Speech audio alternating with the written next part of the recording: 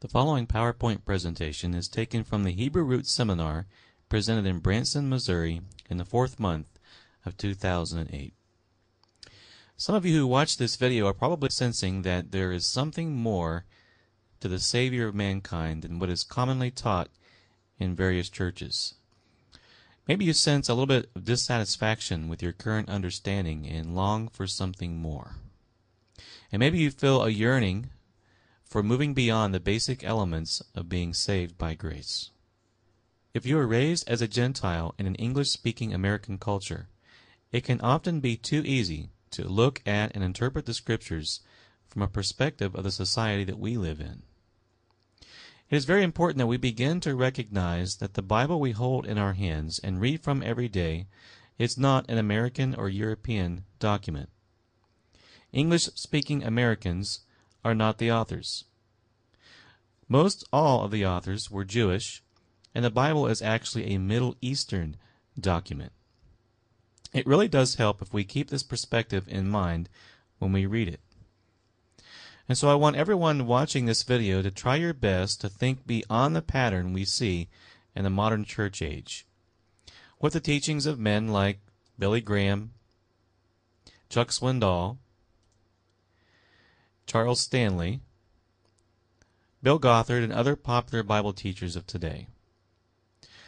Let's go even further back than the old time Christianity of Oswald Chambers and John Wesley and Martin Luther. In fact, let's think further back than the writings of the Gentile church fathers, which certainly has had a lot of influence over the thinking and practices of the modern church era.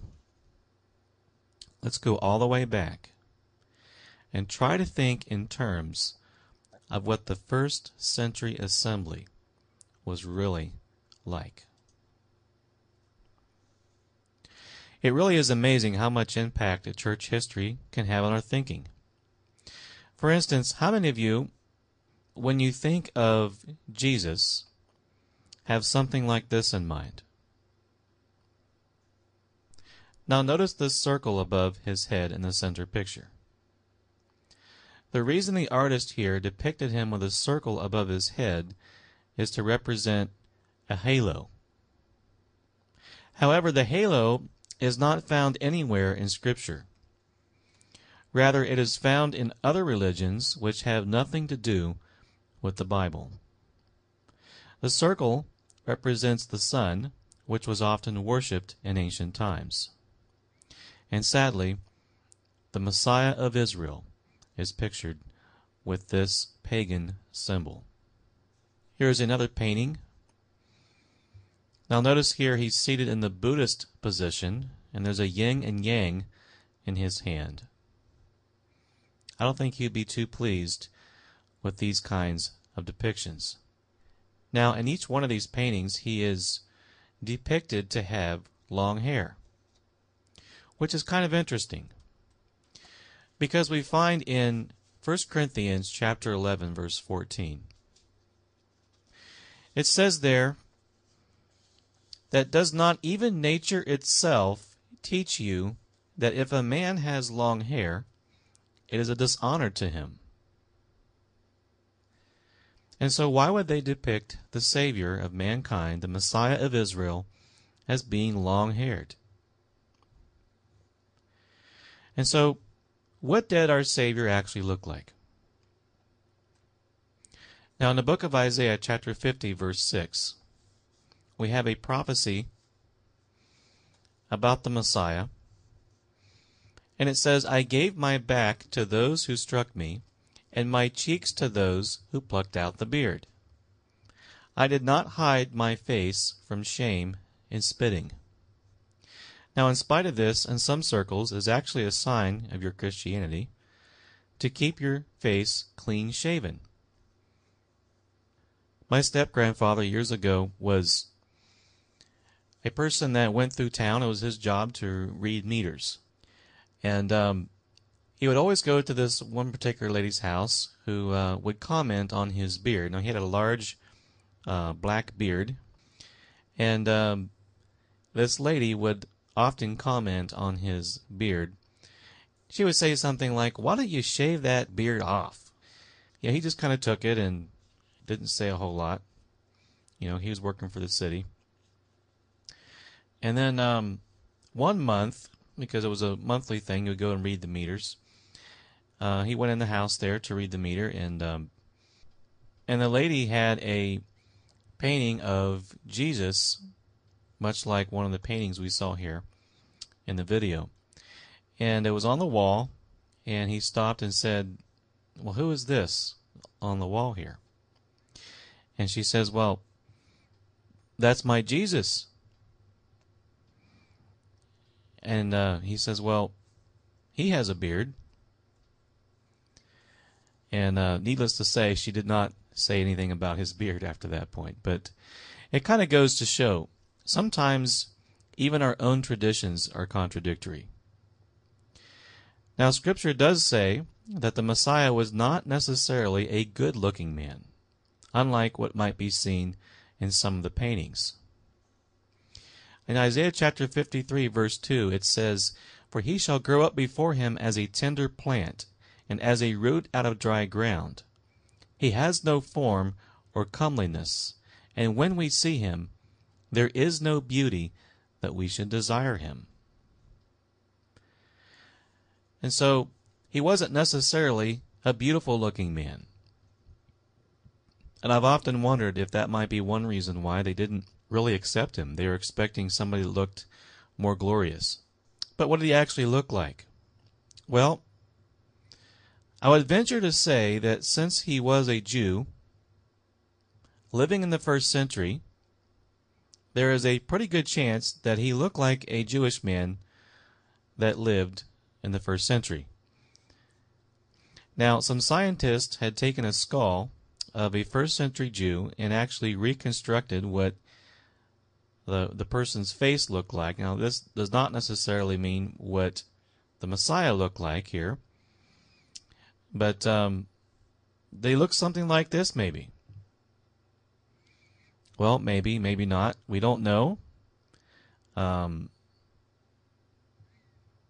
I would tend to think that um, maybe he didn't look quite like that, but um, who knows? Maybe he did look something like this. But we can be sure about one thing he did not walk around with a halo above his head, and he would not want to associate himself with various pagan religions and various pagan symbols. And I think it's best if we try not to think of what he looked like, since we don't know what he looked like, and we don't want to have a false image in our minds. However, we do know he had a beard. And we can also be very sure that he wore certain kinds of garments, such as the tassels. What are tassels? Well, tassels are one thing that every observant Jew in the first century would have worn.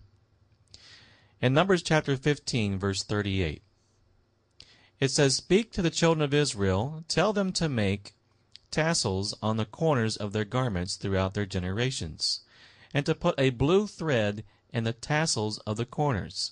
And you shall have the tassel, that you may look upon it and remember all the commandments. And again in chapter 22 of the book of Deuteronomy, verse 12, it says, You shall make tassels on the four corners of the clothing with which you cover yourself.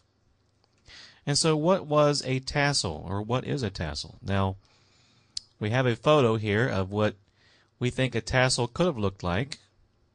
This is how it's commonly done today among some Jewish circles. And um, how many of you remember the story of the woman who suffered from an issue of blood? And she was healed by touching the hem or corner or fringe of his garment. Remember the story? Well, let's go back to that story. In Matthew chapter 9, verses 20 through 21. It says, And suddenly a woman who had a flow of blood for twelve years came from behind and touched the hem of his garment. For she said to herself, If if only I may touch his garment, I shall be made well.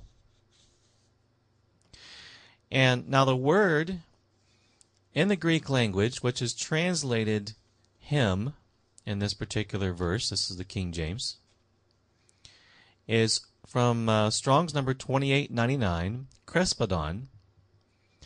And the in the Barclay Greek dictionary it says kraspedon, a fringe, edge or tassel, and in the Strong's concordance it has a fringe or tassel.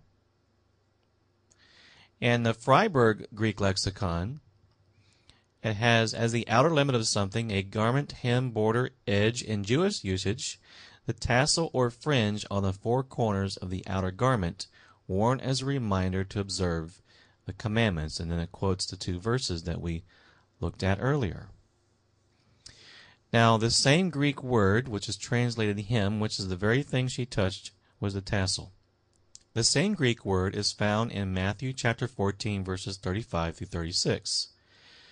And when the men of that place recognized him, they sent out into all that surrounding region, brought to him all who were sick, and begged him that they might only touch the hem of his garment. Same Greek word, kraspedon, meaning tassel. And as many as touched it were made perfectly well. And so, unlike some of the paintings you might see where he's even wearing a Greek uh, toga and a sundisk behind his head, he was actually a Jewish man now, some might think this is just cultural, but as far as a Jewish man was concerned, it was from the Scriptures, and it was commanded, and so they did it. And for the Savior of mankind to have been able to walk the streets and have any respect at all among the Jewish people, he would have also kept this commandment. And so he would have worn the tassels. Now, another thing one might not often think about is that since the Messiah was a Jew, he would actually have had a Jewish or Hebrew name. You know, I once heard a comedian that said, if Jesus was Jewish, why did he have a Spanish name? Now we might laugh because we've all probably heard of the Latino ball player, you know, which had his name spelled like Jesus but actually pronounced Jesus. And so where did the name Jesus originate? Well, believe it or not, the 1611 King James Version did not contain the name Jesus. Now, here is a photo scan of the original 1611 King James Version. And you notice up here at the top left, and it, where it says, And Jesus, being full of the Holy Ghost, returned from Jordan. And so it has I E S U S. Now, the reason why it has I E S U S rather than J E S U S is because the letter J was not normally used in the English language until sometime after 1611, somewhere around the mid 1600s. And somewhere along the line, the letter I actually changed to a J in spite of the fact that the origin of IESUS, Jesus, is actually Latin, which contains no J sound. And so the name Jesus came from the Latin Jesus, and Jesus came from the Greek Jesus. And so where did the name Jesus come from? Well, let's again look back at the Strong's Concordance entry. It's Greek number, lexicon number 2424, Jesus, Jesus, from of Hebrew origin, and it has there 3091. And it has there Jesus, i.e., Jehoshua, the name of our Lord, and two, three other Israelites. And so the Messiah actually has the same name as two other Israelites, maybe three. So let's look at the number 3091 that it mentions here. That's of Hebrew origin.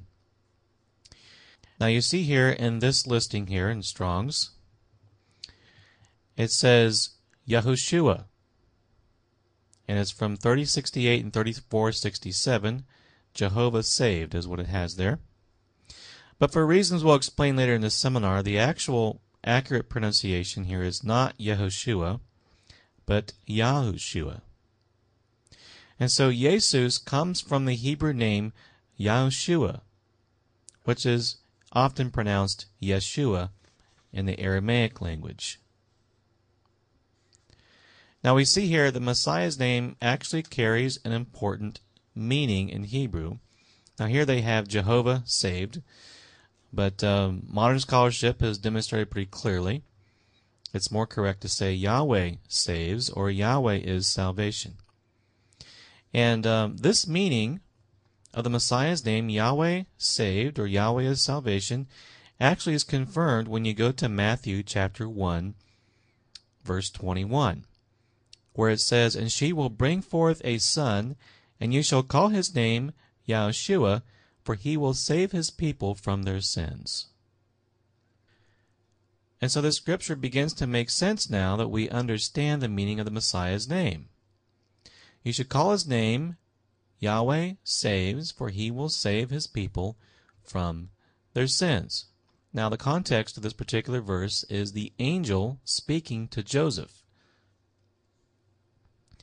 And so it is the Heavenly Father who chose to name his son not Jesus, but Yahushua. Now, I do believe we should not change his name because it's too beautiful and too sacred for us to change. And the meaning of his name carries an important message. And since the name Jesus was due to changes that man has made, and the Messiah never really authorized, we ought to just leave it just as our Heavenly Father gave it to us. This is the name, Yahushua. That is the name the disciples were praying in, baptizing in, healing in, and getting so much persecution for teaching in. Now I realize that names don't seem that important in our culture today. But in the scriptures and in the Jewish culture of the first century, names were pretty important. Consider these scriptures, Acts chapter 2, verse 38.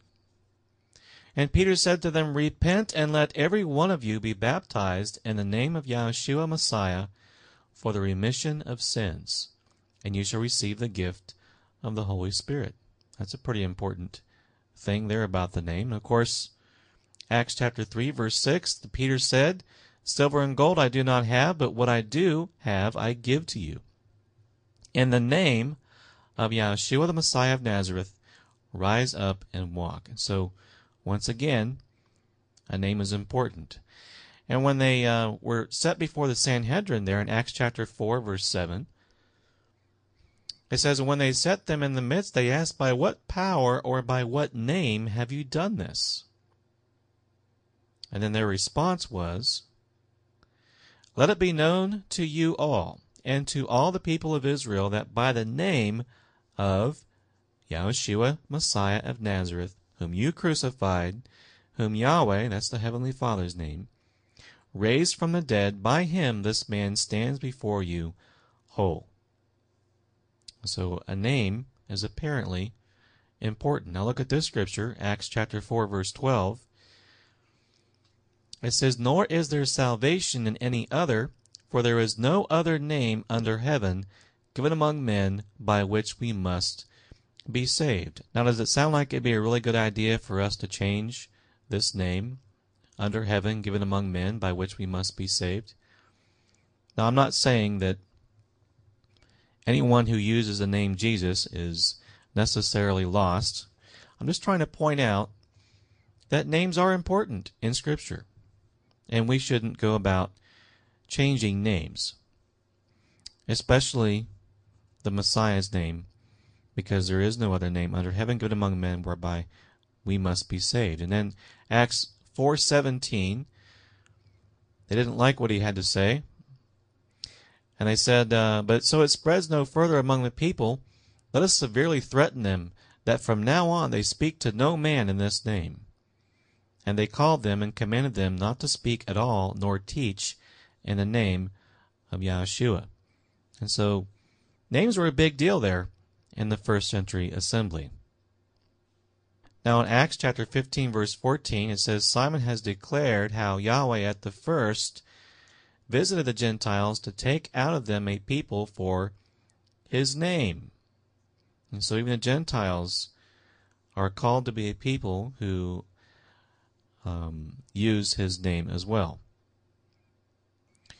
Acts chapter 21 verse 13 says, Then Paul answered, What do you mean by weeping and breaking my heart? For I am ready not only to be bound, but also to die at Jerusalem for the name of the Master Yahshua. And so, these scriptures pretty clearly demonstrate the importance of names.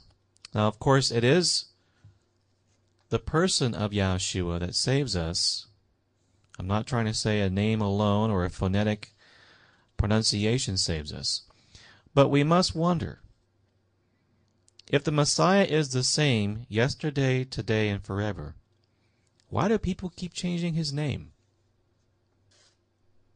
And if we want to appreciate and understand the Hebrew roots of our faith, part of that is understanding that the Messiah's name was not a Greek name, it was not a Latin name, and it certainly wasn't an English name or a Spanish name.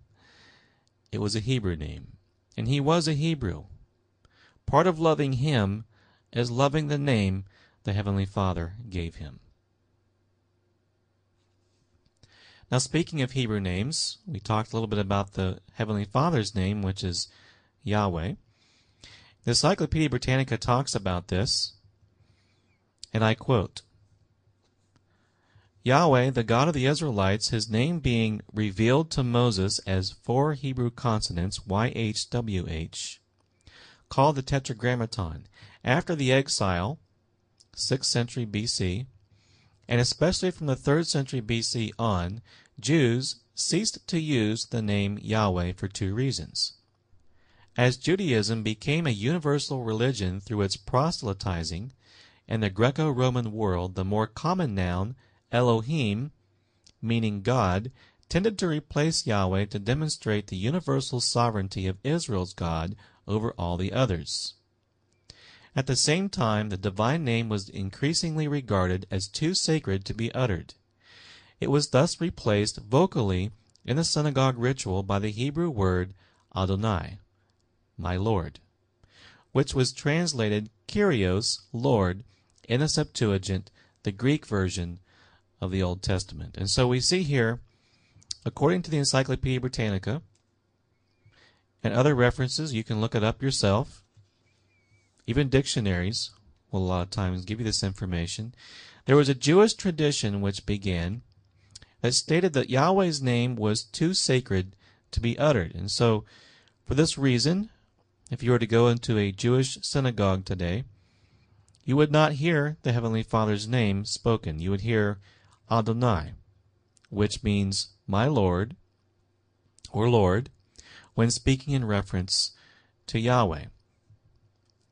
Now, the Messiah himself was not particularly fond of traditions of men, and he never participated in this tradition because he actually said in his prayer in John 17, verse 26, And I have declared to them your name and will declare it, that the love with which you love me may be in them, and I in them. And again, John 17:6, he says, I have manifested your name to the men whom you have given me out of the world. They were yours, you gave them to me, and they have kept your word. Now, nearly all modern Bibles, curiously, follow the tradition of removing Yahweh's name from the Bible and putting the Lord in its place. And if you take a moment to read the preface of your Bible, it will probably mention that they follow the tradition of removing Yahweh's name from the Scriptures.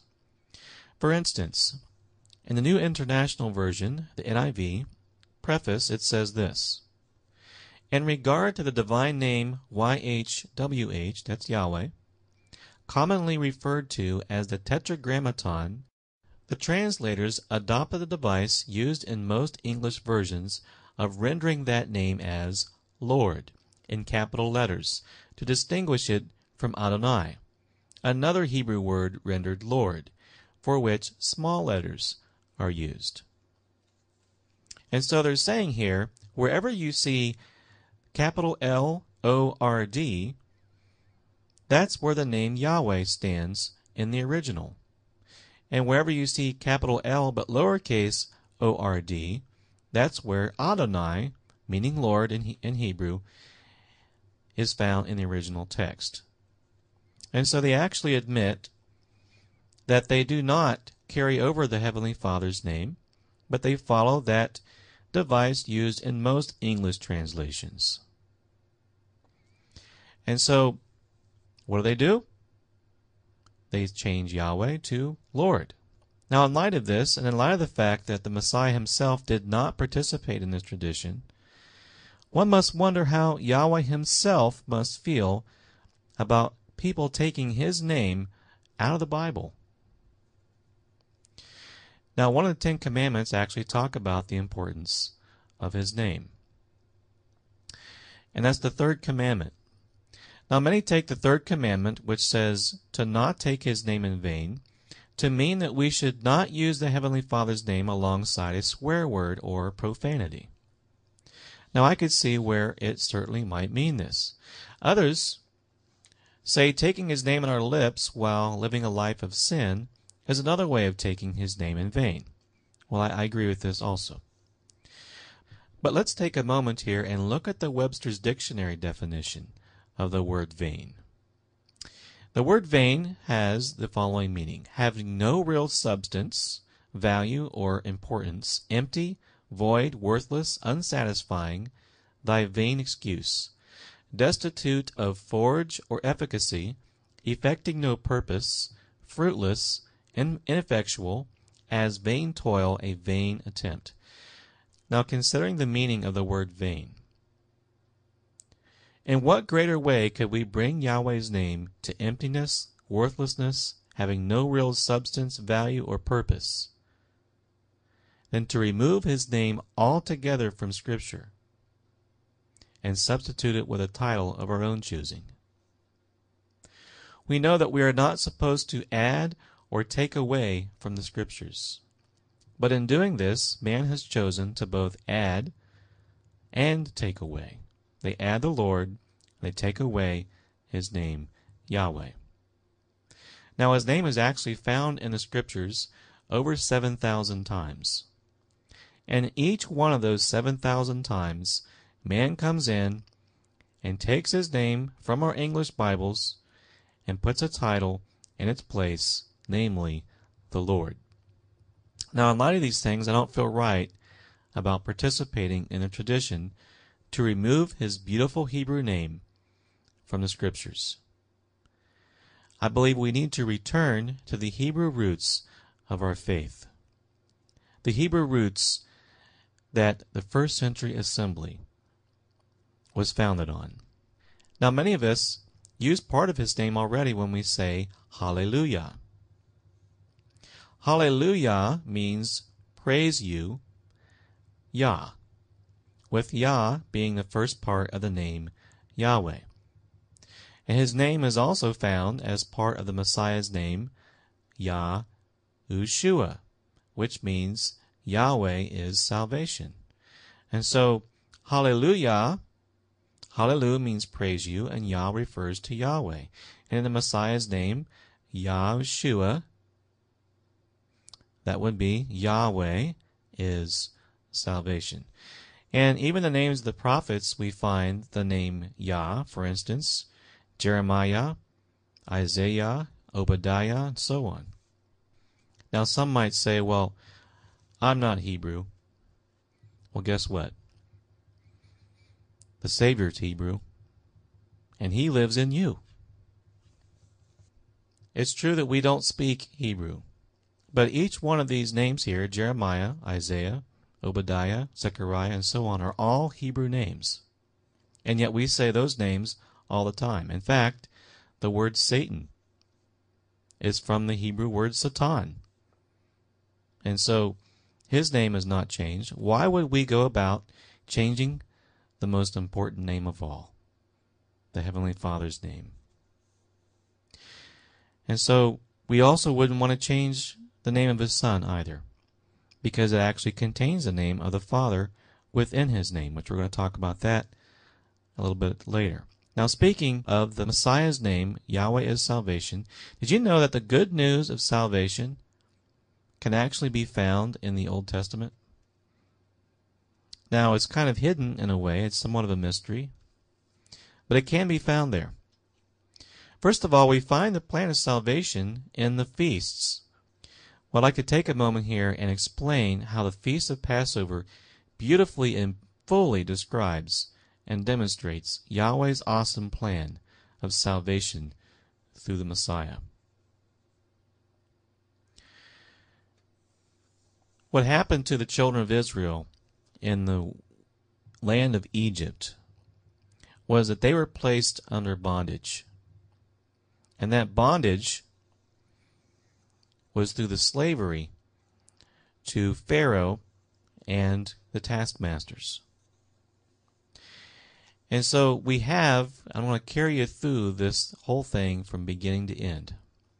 We have a full picture of our own salvation in the Messiah when we look at what happened to the children of Israel as they went from Egypt into the Promised Land. First of all,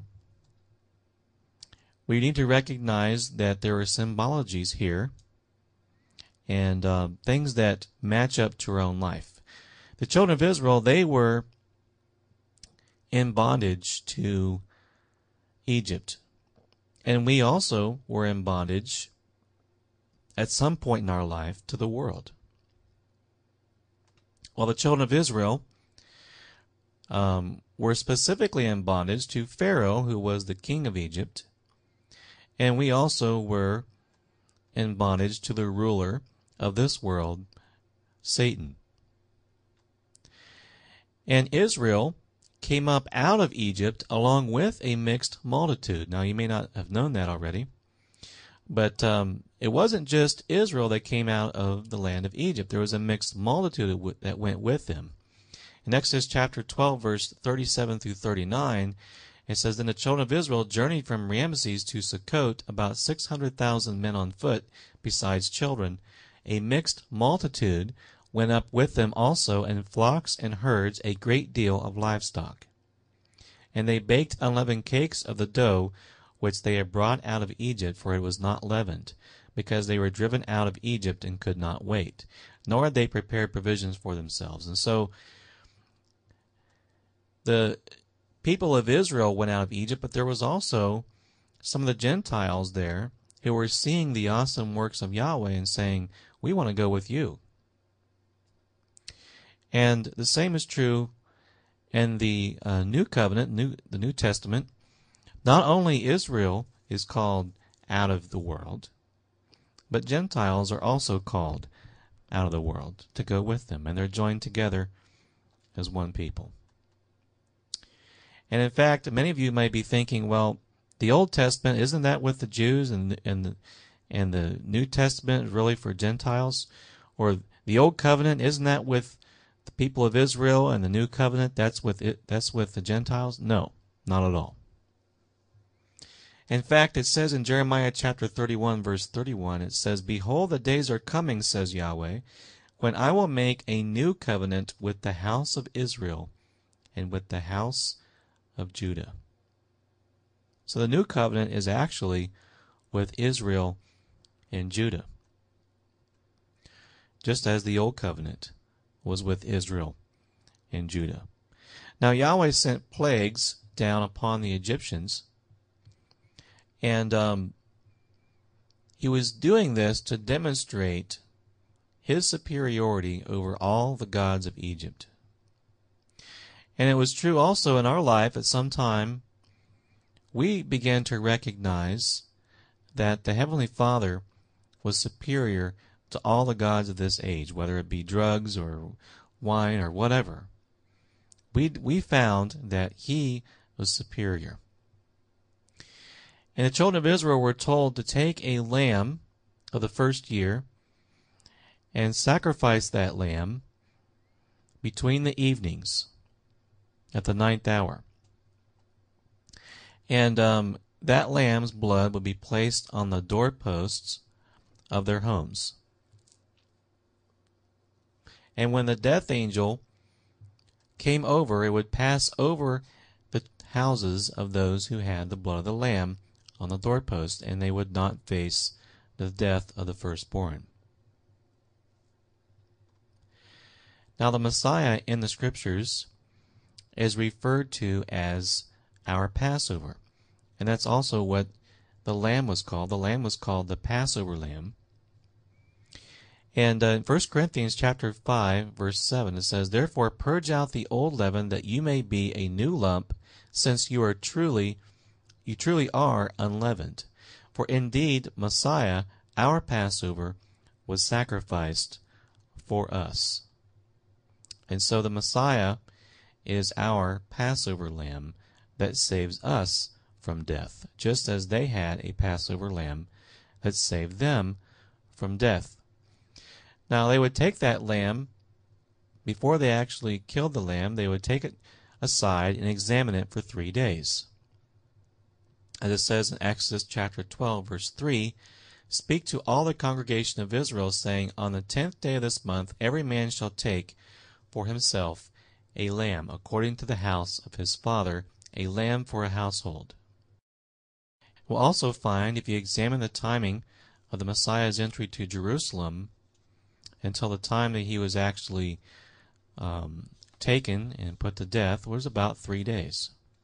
And so he was examined quite often and questioned by the crowds and the and the Jewish people in the same way, they would take a lamb aside and examine it three days, make sure it had no blemish, didn't have any kind of diseases or anything like that. And the Passover lamb, as we mentioned earlier, was sacrificed at the ninth hour, commonly known as the time between the evenings. And that's Exodus chapter 12, verse 6. It says, Now you shall keep it until the fourteenth day of the same month then the whole assembly of the congregation of Israel shall kill it at twilight. Now, the word translated twilight literally means between the evenings. It's probably not a very good translation.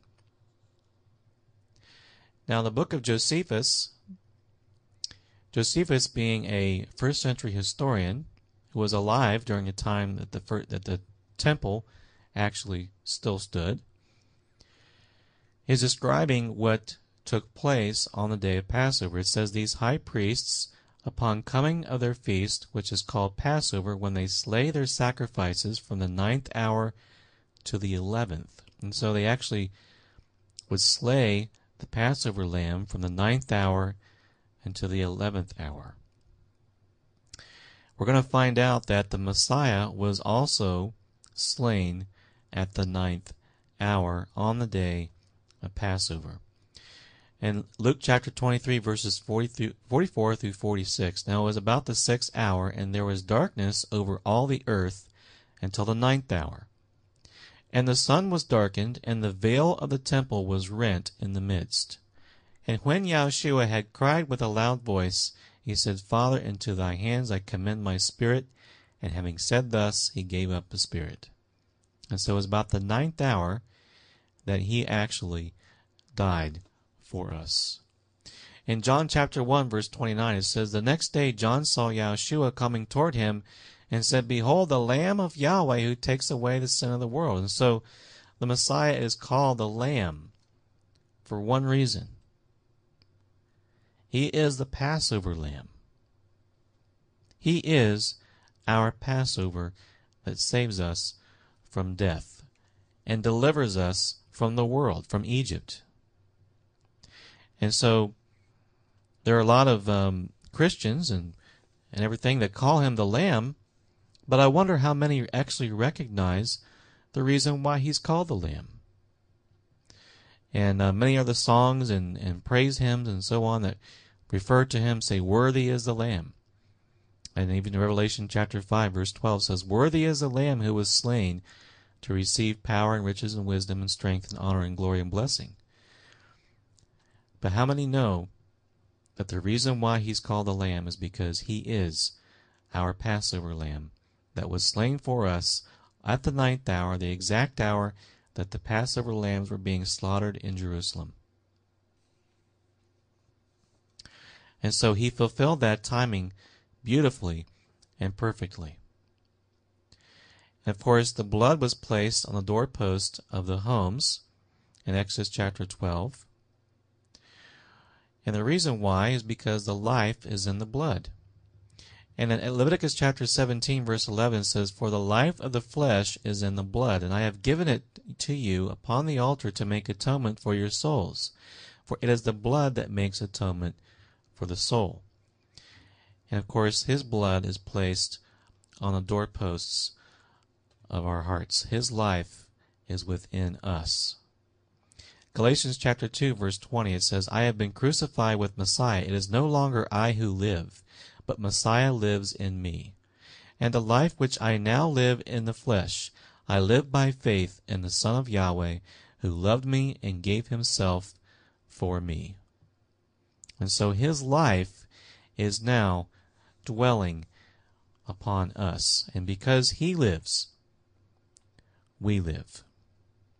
And so the blood on the doorposts of their home, life being placed on their on their dwelling places, is matching up with the understanding that the Messiah, his life, is dwelling and living in us.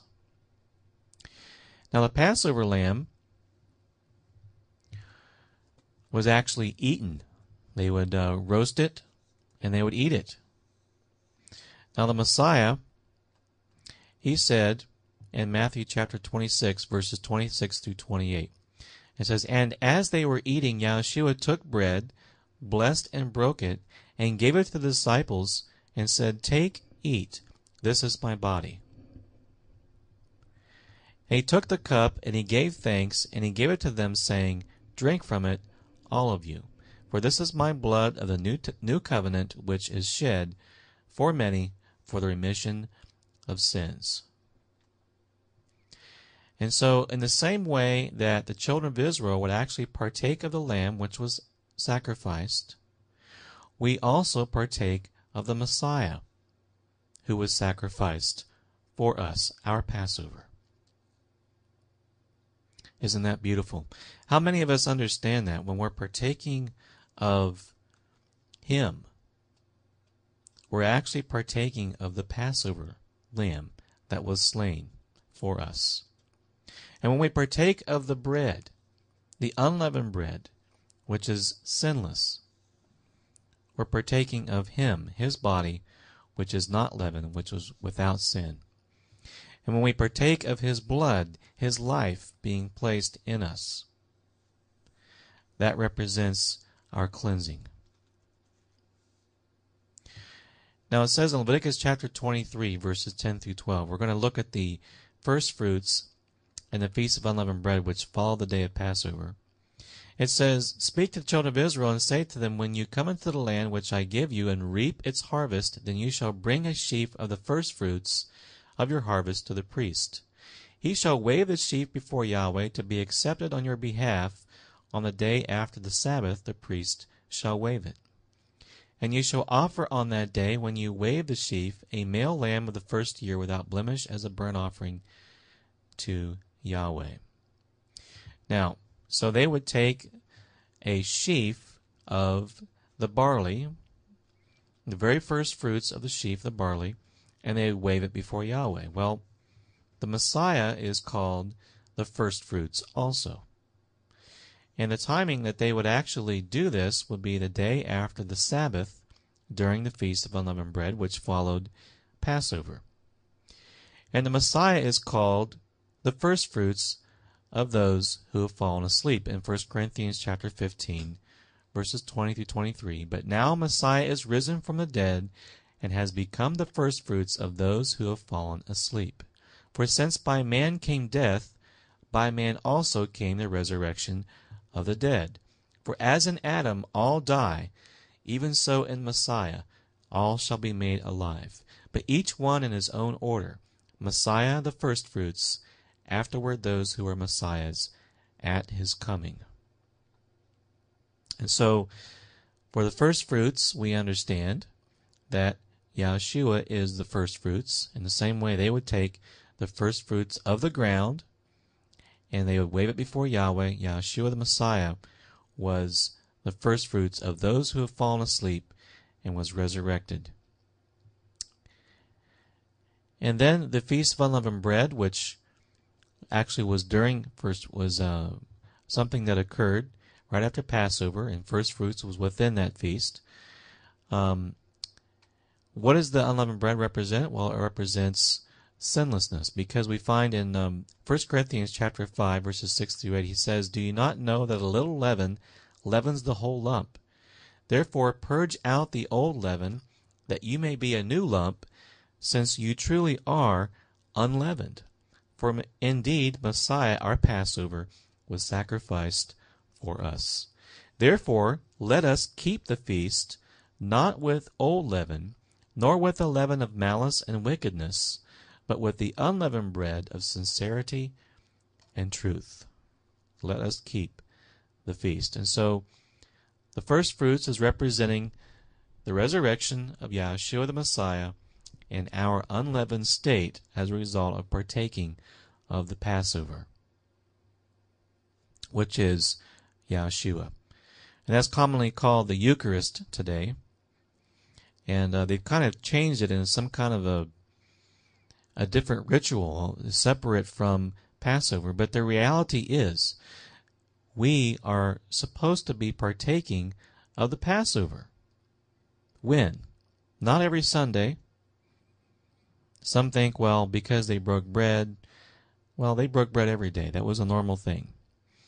But the Messiah actually died for us on the day of Passover and then they would partake of that Passover that following night. And so, if we understand that we are supposed to do this in remembrance of Him, then why don't we do that at the time that He actually died for us?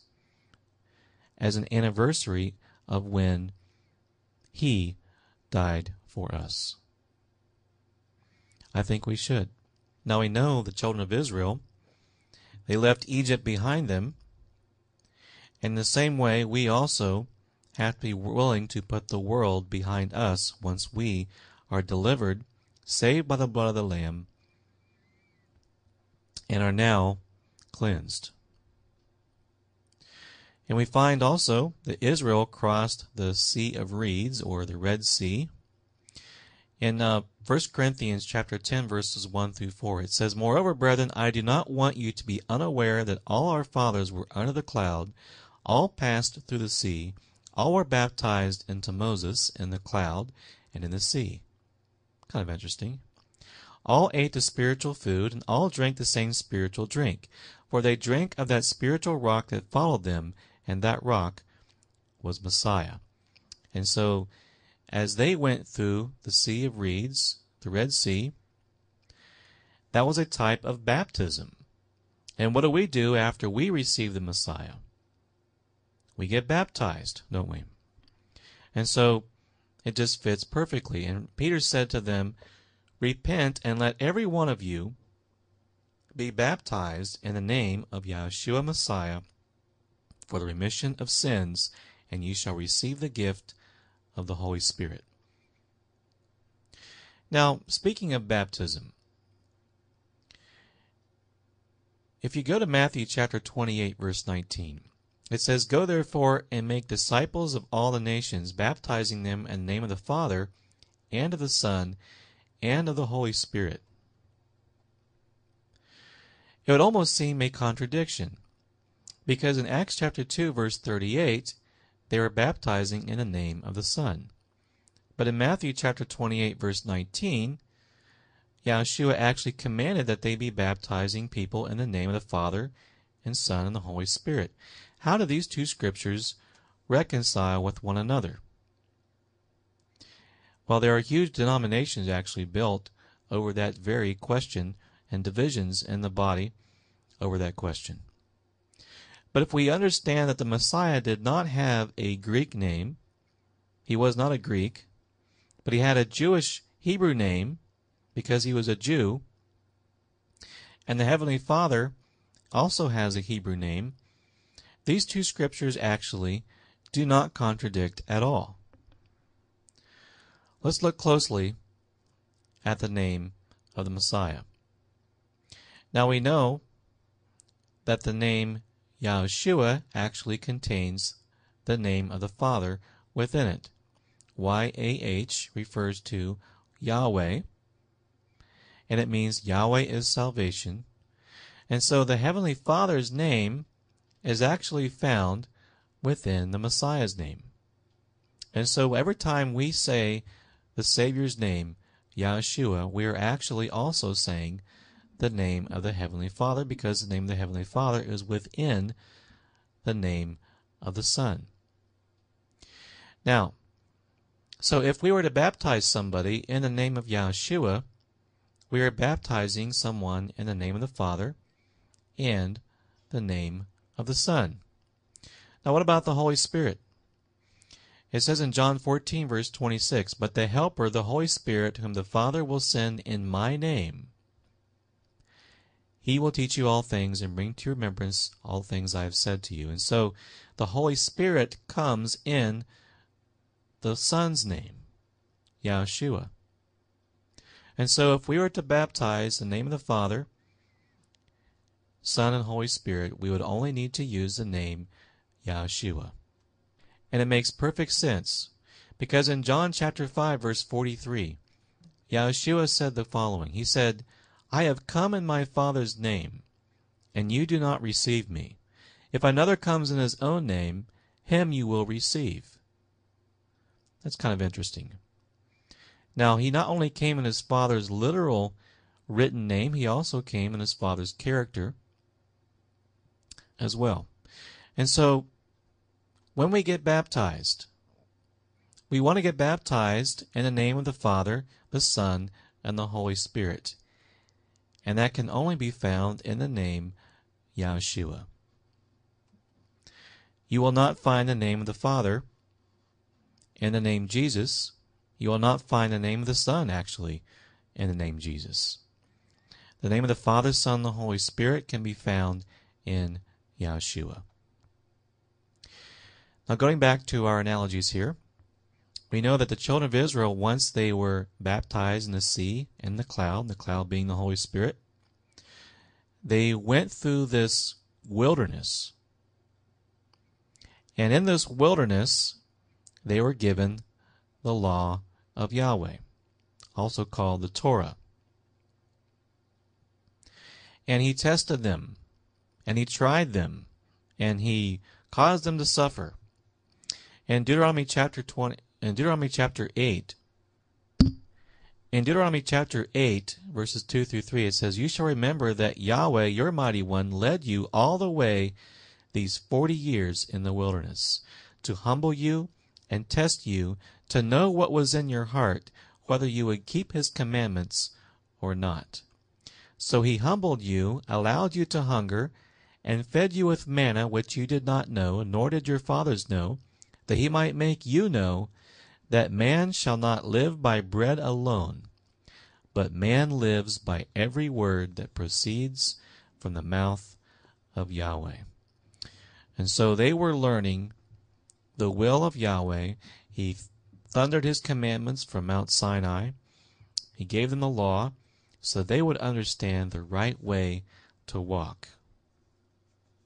And we also, after we have been baptized, we begin to learn more and more about what our Father desires of us.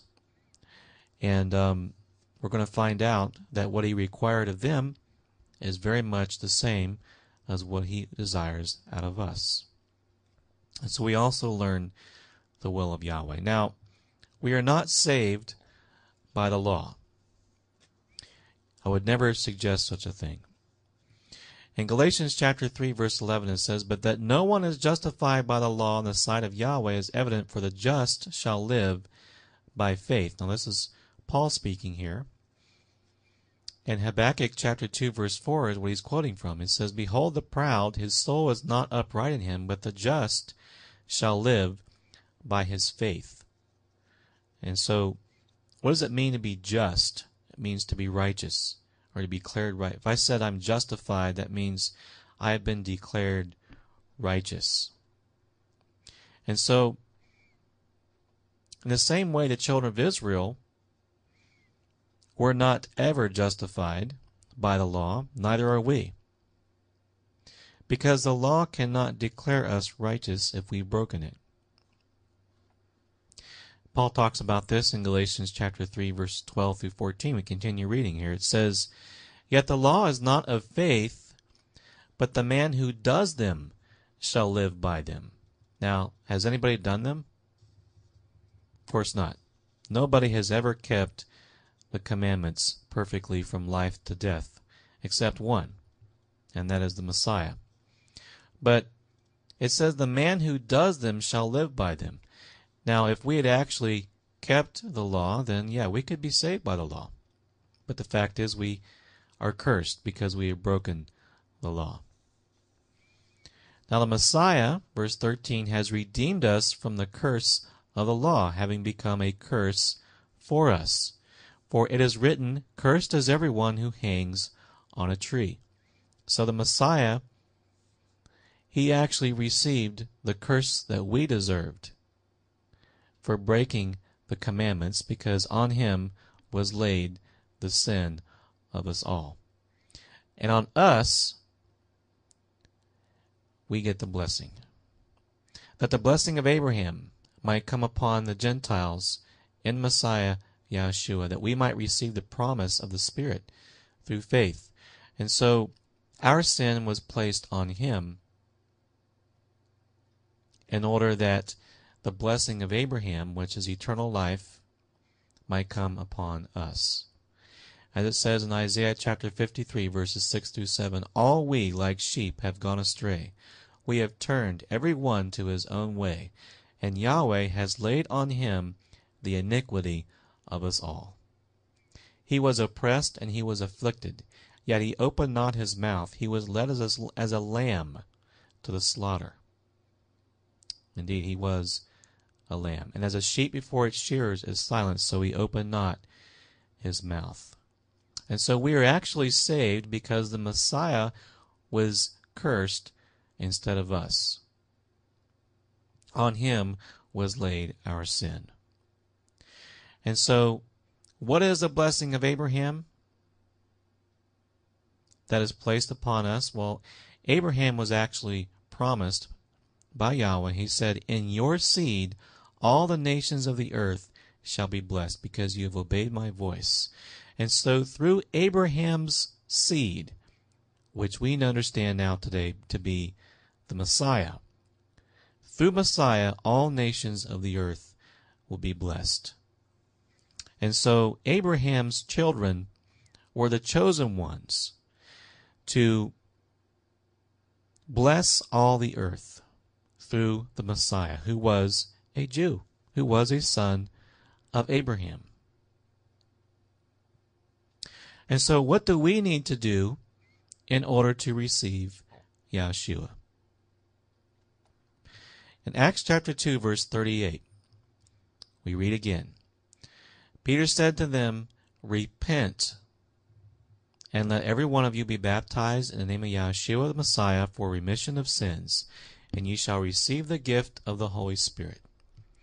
And so we have to repent. Now, this is Peter speaking here. He's speaking to the crowd of Jews. And Paul, who is referring to his ministry here to the Gentiles, and he's talking to King Agrippa in his defense, and he says, I was not disobedient to the heavenly vision, but declared first to those in Damascus and in Jerusalem and throughout the region of Judea, and then to the Gentiles, that they should repent Turn to Yahweh and do works befitting repentance. And so we have to repent, don't we? What does it mean to repent? It doesn't mean that you instantly become perfect. What it does mean is that you have made a decision to turn away from sin. You've made a decision that you no longer want to walk in your former ways. And in uh, Acts chapter 3, verse 19, it says, Repent therefore and be converted that your sins may be blotted out, so that the times of refreshing may come from the presence of Yahweh. And Ezekiel chapter 18, verses 30 through 31, Yahweh said the same thing to the house of Israel. He says, Therefore I will judge you, O house of Israel, every one according to his ways, says the Master Yahweh. Repent and turn from all your transgressions, so that iniquity will not be your ruin. Cast away from you all the transgressions which you have committed, and get yourselves a new heart and a new spirit. For why should you die, O house of Israel? And so the same message is given to both Jew and Gentile. Repent. Turn away from transgression. Turn away from sin. In Romans chapter 10, verses 9, 9 through 13, it says, If you confess with your mouth the Master Yahshua and believe in your heart that Yahweh has raised him from the dead, you will be saved. For with the heart one believes unto righteousness, and with the mouth confession is made unto salvation. And so in our heart, our belief is going to bring us to righteousness, to a righteous walk. We're going to turn away from unrighteousness and toward righteousness. And with our mouth, we can make our, we make our confession that we receive Him. And Scripture says, "Whoever believes on Him will not be put to shame, for there is no distinction between Jew and Greek, for the same Master is over over all is rich to all who call upon Him. For whoever calls on the name of Yahweh shall be saved. Isn't that interesting? I guess the name is important. And he says there's no distinction between Jew and Greek. If there's no distinction between Jew and Greek, why is it that in so many religions and churches today we, we see a big distinction between Jew and Greek? Now, I want to point out here that everyone is called to turn away from sin. Now, what is sin? What does it mean to sin? If we're supposed to repent, what is it that we're supposed to be repenting from? What are we turning away from? What is exa- what is sin exactly? Well, in 1 John chapter 3 verse 4 it says, "Whoever committeth sin transgresseth also the law, for sin is the transgression of the law. In Romans chapter 6, verses 1 through 2, it says, What shall we say then? Shall we continue in sin that grace may abound? Yahweh forbid. How shall we that are dead to sin live any longer therein? And so, we're not to sin, and we know that sin is transgressing the law. And so, what does this mean? We should not continue transgressing the law, right? And in fact, we are dead to those things, to transgressing the law. And in Romans chapter 6 verse 15 it says, "What then shall we sin because we are not under the law, but under grace? Yahweh forbid." And so the fact that we are not under the law's condemnation does not mean that we are free to transgress that law. So we're not under the law, but we're not above the law either. There is no distinction between Jew and Greek, and Paul is writing to the Romans here. And he says in Romans chapter 3 verse 20 he says by the law is the knowledge of sin. So the actual the law that Yahweh gave to the children of Israel teaches us what sin is and sin isn't. And in Romans chapter 7, verse 7, he says, I had not known sin but by the law.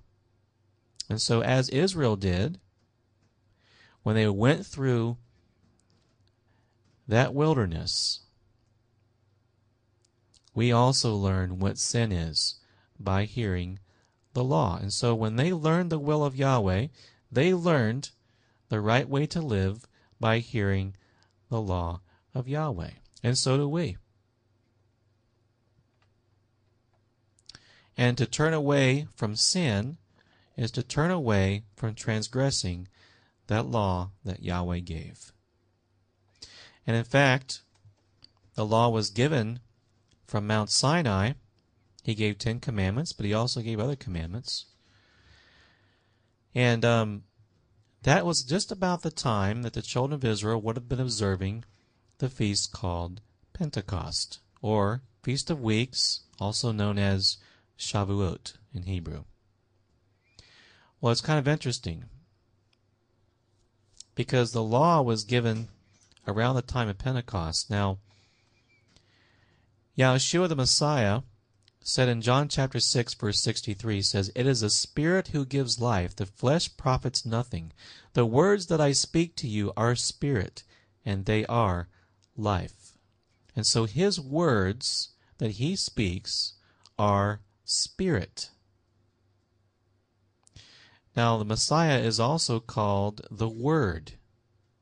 In John chapter 1, it says, John 1.14, The Word became flesh and dwelt among us, and we beheld his glory, the glory as of the only begotten of the Father, full of grace and truth. And so,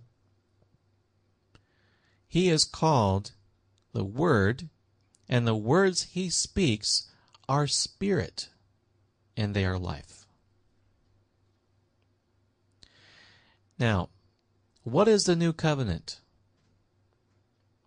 In Jeremiah chapter 31, verse 33 says, This is the covenant I will make with the house of Israel in those days, says Yahweh. I will put my law in their minds and write it on their hearts.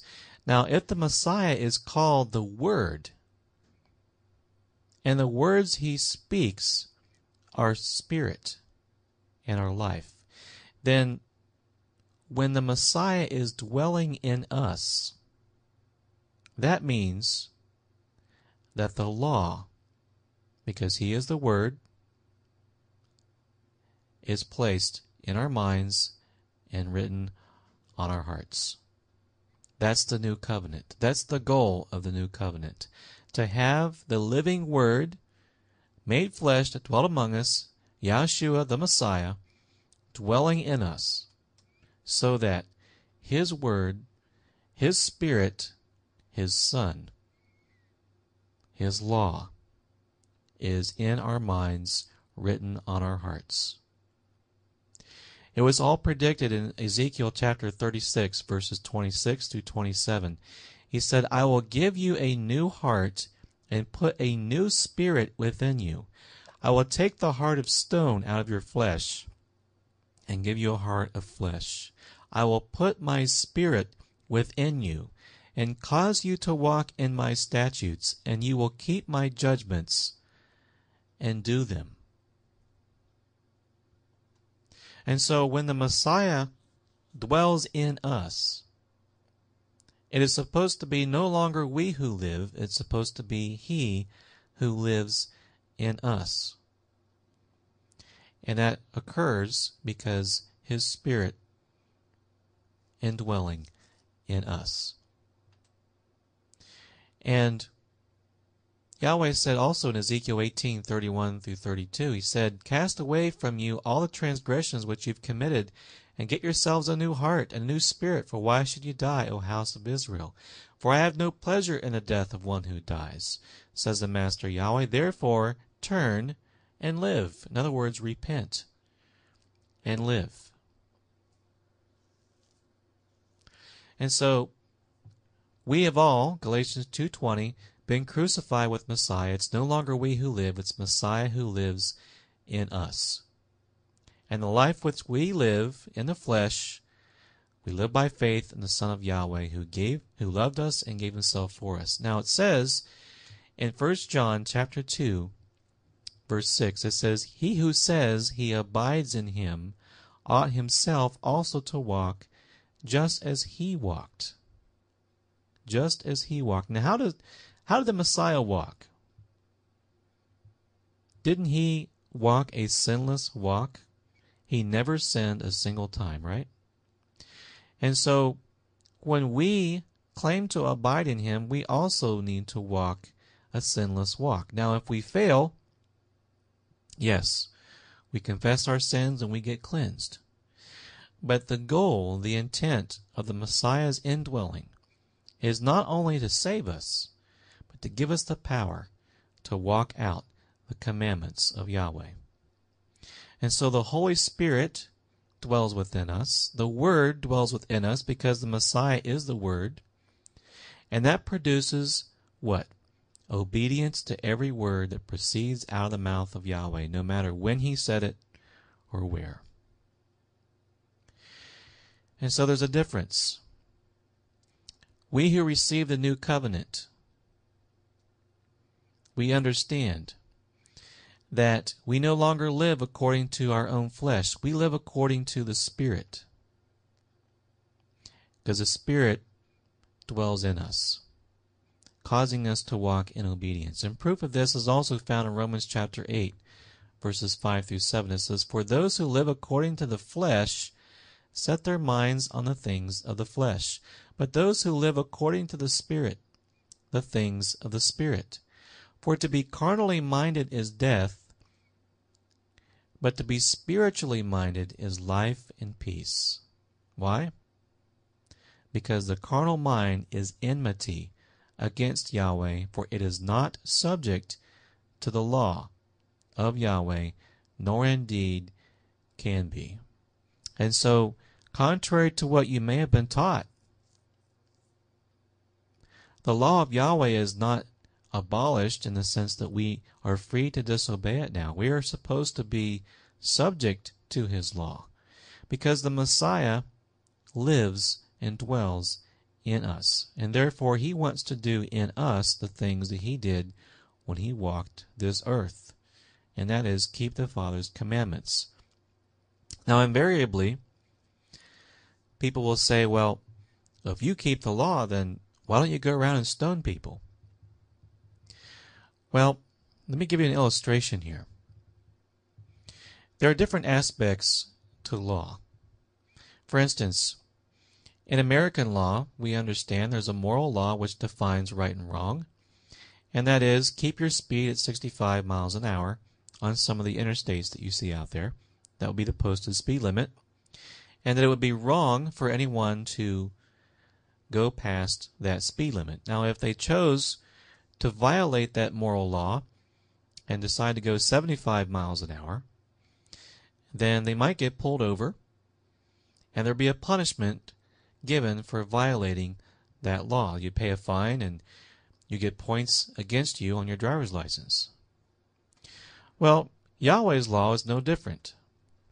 There is a moral law which defines right and wrong, that's sin. And that is for instance, do not murder. We understand that's wrong to murder. And then there's a punishment given for someone who violates that law. And that would be the murderer should be put to death. And so there's a difference between the punishment of violating the law and the actual moral law itself. Now, we don't go around and pull people over, do we? Do we go around and pull people over ourselves and say, hey, you just broke the speed limit? You know, when that guy passed you on the freeway, do you uh, wave your arms and, and tell him to pull over and, and um, tell him he has to pay a fine and um, and uh, you report him and he gets he gets uh, points against him on his driver's license? No. In the same way, the judges and those who are in civil authority in the land are the ones who have that role. The same was true of ancient Israel. It wasn't ever intended that the common man just walk up to somebody and stone them for doing something wrong. That was a commandment given to the judges so that they would administer punishment in a society that was based on keeping Yahweh's commandments. And in fact, our own society here in the United States agrees with this particular uh, punishment here that's listed in Scripture that a murderer is put to death, and there are people who are put to death for the crime of murder, even here in the United States. But we don't just walk up to the murderer and, and shoot him. There's a process. And the same was true in Yahweh's law. And so, if we say that we want to keep Yahweh's law, Does that mean we go around and, and um, stone people? No, that's supposed to be intended for judges of a land and of a country that chooses to live and abide by the scriptural principles. But the scriptural principle which defines sin, which tells us right from wrong, is do not murder, and so we don't murder. And that's the portion of the law that was intended for the common man. And there were other portions of Yahweh's law, such as giving sacrifices and so on, but those were commands for the priests. And both of those aspects, the punishment and the redemptive aspects of the law, had to do with what you do when sin happens. They may have to make an offering or something like that. But the actual moral, underlying moral law is unchangeable. Do not murder. Do not steal. Do not commit adultery, and so on. And so, for us today, if we want to keep Yahweh's law, we will keep these things to keep ourselves from sin. And there are other things in Yahweh's law as well, which are not very popular, such as keep the Sabbath. That's part of the Ten Commandments, right? And uh, the Sabbath was never called Sunday in Scripture. All right, so getting back to our analogies here, we find that Joshua, son of Nun, was actually the one who caused them to cross the Jordan and enter the promised land. Moses was not able to bring them to the uh, land of promise because he himself had sinned. Now, I want to share with you a very fascinating fact about this. Joshua is the same name as the Messiah's name. And in fact, if you go to your King James Version in, Hebrews chapter 4, verse 8, it says, For if Jesus had given them rest, then he would have not afterwards spoken of another day. Now, that particular verse is kind of interesting because it's not talking about the Messiah. It's, it's actually talking about Joshua, son of Nun, in Hebrews chapter 4, verse 8. And all the other modern translations actually correct that and put Joshua there. But the reason why it has Jesus is because it has Jesus in the Greek, which we talked about earlier, comes from Yahshua. And so Joshua or Yahshua is the same name as our Savior, which provides a very fascinating analogy. And that is Moses can show us the way of righteousness and show us the right way to live. But the law does not save us. The law can tell us what righteousness is and what unrighteousness is. But Moses himself failed to keep his own law. And as a result, Yahweh forbade him from entering the land. But there's a lesson here. Moses could not take them across the Jordan, but there was a man named Yahshua who was able to do it. In the same way in our own walk, the law of Moses cannot take us across the Jordan and cannot save us. It takes a man named Yahshua to carry us across the Jordan. And so the whole story of the children of Israel from Egypt to the promised land is a beautiful picture of our own salvation. And in fact, we find in Zechariah chapter 6 a prediction that the Messiah's name was going to be Yahshua. In um, it says in verse 9 through 13, it says, Then the word of Yahweh came to me, saying, Receive the gift from the captives, from Heldai, Tobiah, and Jedaiah, who have come from Babylon, and go the same day and enter the house of Josiah the son of Zephaniah. Take the silver and gold, make an elaborate crown, and set it on the head of Joshua, that's Yahshua, the son of Jehozadak, the high priest. Then speak to him, saying, Thus says Yahweh of hosts, saying, Behold the man whose name is the branch.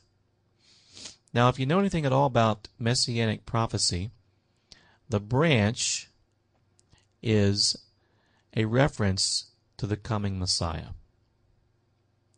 And so this man, Yahshua, actually had the name of the branch. And so he said, Take the silver and gold, make this crown, and put it on the head of Yahshua, and say, Behold, the man whose name is the branch.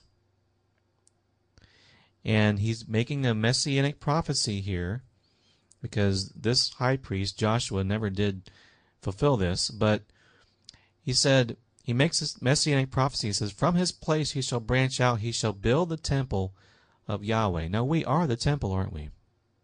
Yes, he shall build the temple of Yahweh, he shall bear the glory, and shall sit and rule on his throne. And he shall be a priest on his throne, and the council of peace shall be between them both. And so, Yahshua the Messiah is a king on the throne, he's also a priest. And so, this man named Yahshua that lived at this time, and Zechariah was, was actually uttering these prophecies, contained the name of the branch. Now, if you're looking for scriptures, that would show the Messiah is called the branch. Look at uh, Jeremiah 33:15. It says, "In those days at that, that at that time I will cause to grow up to David a branch of righteousness. He shall execute judgment and righteousness in the earth." Also Jeremiah 23 verse 5 says, "Behold, the days are coming that I will raise to David a branch of righteousness. A king shall reign and prosper and execute judgment and righteousness." in the earth. And so the Messiah's name is predicted in the book of Zechariah, chapter 6, verses 9 through 13. That's pretty exciting. And so we understand now that Yahshua was the one who led them, the children of Israel, to the promised land. That's what they called him. When, when they were crossing the Jordan, they understand. They understood that it was Yahshua who was leading them. Now, not Yahshua the Messiah, but Yahshua the son of Nun. And um, we also understand that it's Yahshua who takes us to the promised land. Hallelujah. Now, we have covered two feasts here. One is the Passover, Feast of Unleavened Bread, and the second one is Pentecost, when the law was given, also the time that the Spirit was poured out in Acts chapter 2.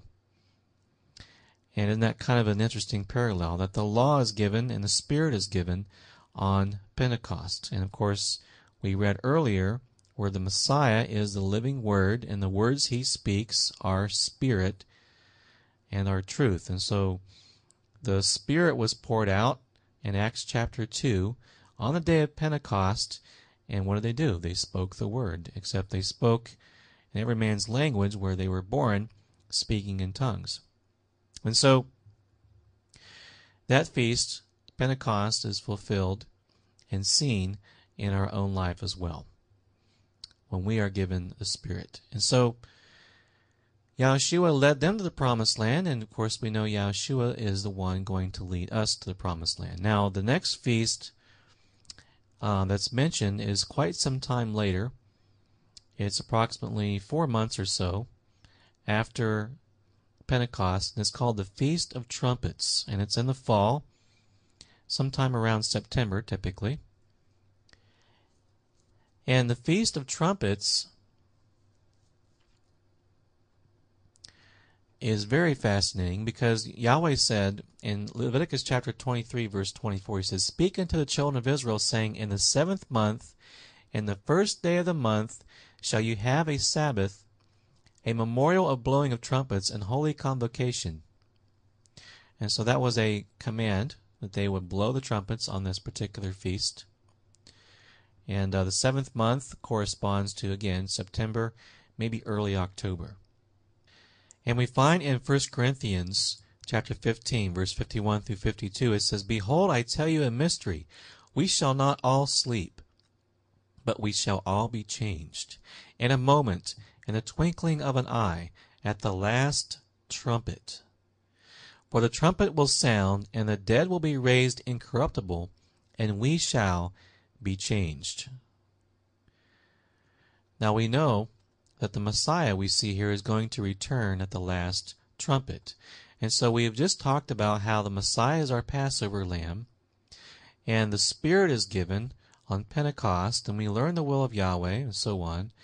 And then we know the Messiah is going to return, right? That's the next step for us. And so, the Feast of Trumpets, the Messiah's return at the last trump. And then the next feast, the Day of Atonement, representing the atonement we receive in the Messiah. As a result of his perfect work, he entered the Holy of Holies as the high priest does on the Day of Atonement and um, makes atonement for us. And then the, the feast which follows the Day of Atonement is called the Feast of Tabernacles. And the uh, Feast of Tabernacles representing the fact that Yahweh will tabernacle with men and also our temporariness in this tabernacle. Our bodies in this world, the places we dwell, are all temporary. But one day, Yahweh will tabernacle with us. And the Feast of Tabernacles is mentioned in Leviticus chapter 23, verses 39 through 42. It says, Also in the fifteenth day of the seventh month, when you have gathered in the fruit of the land, ye shall keep a feast unto Yahweh seven days. On the first day shall be a Sabbath, and on the eighth day shall be a Sabbath. And so two of those days during the Feast of Tabernacles are days of rest. And ye shall take you on the first day the boughs of goodly trees, branches of palm trees, and the boughs of thick trees, and willows of the brook, and ye shall rejoice before Yahweh your mighty one seven days. And ye shall keep it a feast unto Yahweh seven days in the year. It shall be a statute for ever in your generations. Ye shall celebrate it in the seventh month. Ye shall dwell in booths seven days. Now, this is kind of interesting. You might think, well, this is for Israel, right? Well, the days are going to come, according to the book of Zechariah, chapter 14, that um, it's going to be revealed who Yahweh really wants to be keeping his feast days. We're going to read through the book of Zechariah, chapter 14 here. verses 1 through 3. And we're going to read through the whole chapter. It says, Behold, the day of Yahweh is coming, and your spoil will be divided in your midst. For I will gather all the nations to battle against Jerusalem. The city shall be taken, the houses rifled, the women ravished. Half of the city shall go into captivity, but the remnant of the people shall not be cut off from the city. Then Yahweh will go forth and fight against those nations, as he fights in the day of battle. And in that day his feet will stand on the Mount of Olives, which faces Jerusalem on the east. And the Mount of Olives shall be split in two, from east to west, making a very large valley. Half of the mountain shall move toward the north, and half of it toward the south. Now, of course, that's never happened. The Mount of Olives is still intact, isn't it? Then you shall flee through my mountain valley, for the mountain valley shall reach to Azal. Yes, you shall flee as you fled from the earthquake in the days of Uzziah king of Judah. Thus Yahweh, my mighty one, will come, and all the saints with you. It shall come to pass in that day that there will be no light, the lights will diminish. It shall be one day which is known to Yahweh, neither day nor night, but at evening time it shall happen that it will be light. Now, of course, that's never happened, right? And in that day it shall be that living waters shall flow from Jerusalem, half of them toward the eastern sea, and half of them toward the western sea. In both summer and winter it shall occur. And Yahweh shall be king over all the earth. And that day it shall be, Yahweh is one, and his name one. No more the Lord and Hashem and Adonai, one name. All the land shall be turned into a plain from Geba to Rimmon, south of Jerusalem. and that's still hilly right now as we speak, but it's going to be turned into a plain. Yahweh is going to do some landscaping for us. Jerusalem shall be raised up and inhabited in her place from Benjamin's gate to the place of the first gate and the corner gate, and from the tower of Hananeel to the king's winepresses. The people shall dwell in it, and no longer shall there be utter destruction, but Jerusalem shall be safely inhabited. No more utter destruction. No more uh, suicide bombers and bombs, so on. And this shall be the plague with which Yahweh will strike all the people who fought against Jerusalem. Their flesh shall dissolve while they stand on their feet. Their eyes shall dissolve in their sockets, and their tongues shall dissolve in their mouths pretty serious plague. Almost sounds like nuclear war, doesn't it? It shall come to pass in that day that a great panic from Yahweh will be among them. Every one will seize the hand of his neighbor and raise his hand against his neighbor's hand. And it shall come to pass, this is the fascinating part here, it shall come to pass that every one who is left of all the nations which came against Jerusalem shall go up from year to year to worship the King, Yahweh of hosts, and to keep the feast of tabernacles. And so everyone, both Jew and Gentile, are going to be keeping the feast of tabernacles. That is predictive prophecy. It's going to happen. Verse 17 It shall be that whichever of the families of the earth do not come up to Jerusalem to worship the King, Yahweh of hosts. On them there will be no rain. You see, the Feast of Tabernacles is, is intended to be a time of rejoicing for the goodness that Yahweh gives. It's actually sort of like our Thanksgiving in America here, except it's actually commanded. It says that he will send no rain upon the nations that do not come up and give him thanks for the good things that he's given. It says, If the family of Egypt will not come up and enter in, they shall have no rain. They shall receive the plague with which Yahweh strikes the nations who do not come up to keep the Feast of Tabernacles. And so Yahweh's intent actually was that all of Egypt would have come with Israel and um, enjoying them. Not just the mixed multitude, but um, of course, many of them were stubborn. And we have here, it says, the family of Egypt is being required to come up and keep the Feast of Tabernacles. Why is he mixing Jew and Gentile together? This is interesting. Now, this shall be the punishment of Egypt and the punishment of all the nations that do not come up to keep the Feast of Tabernacles. And so I think part of understanding the Hebrew roots of our faith is understanding that it is not the will of the Heavenly Father for the body of the Messiah to be fragmented into two separate camps. He said, We are all one, Jew or Gentile. We are all one. He never says, Jews, you keep the Sabbath on the seventh day of the week, and Gentiles, you meet on a different day. That's called division. And for some reason, many assume that Jews are supposed to meet on the seventh day and Gentiles on the first, but that's not true. There is no scripture anywhere in the Bible where Yahweh says he wants to keep the Jews and Gentiles separated. In fact, in the Old Testament, he actually invited the Gentiles to keep the Sabbath and said he would bless them for it.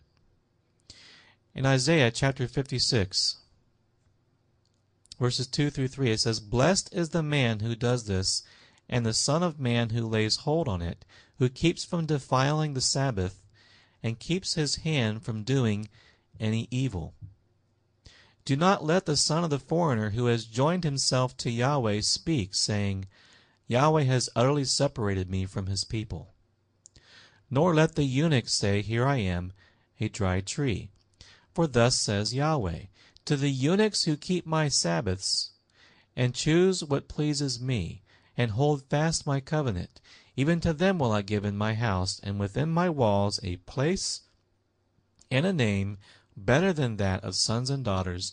I will give them an everlasting name that shall not be cut off. Also, the sons of the foreigner, verse 6, who join themselves to Yahweh, that's the Gentiles, who want to join themselves to Yahweh, to serve Him, and to love the name of Yahweh, Jewish Hebrew name, right? To be His servants, everyone who keeps from defiling the Sabbath. See, the, the Gentiles also defile the Sabbath. If you keep yourself from defiling the Sabbath, he says, and hold fast my covenant, even to them I will bring to my holy mountain and make them joyful in my house of prayer. And so Yahweh wanted all along both Jew and Gentile to be in one camp, in one place, on one day, worshiping Him. Now, today, some believe the commandment to keep the Sabbath can be kept just by resting one day out of seven. Maybe they'll keep Tuesday or or, or Sunday or whatever. It doesn't matter which day you keep. But I'd like you to look at the Sabbath commandment, actually, which is seen here in the Ten Commandments. Yahweh said in Exodus chapter 20, verse 8, He said, Remember the Sabbath day to keep it holy.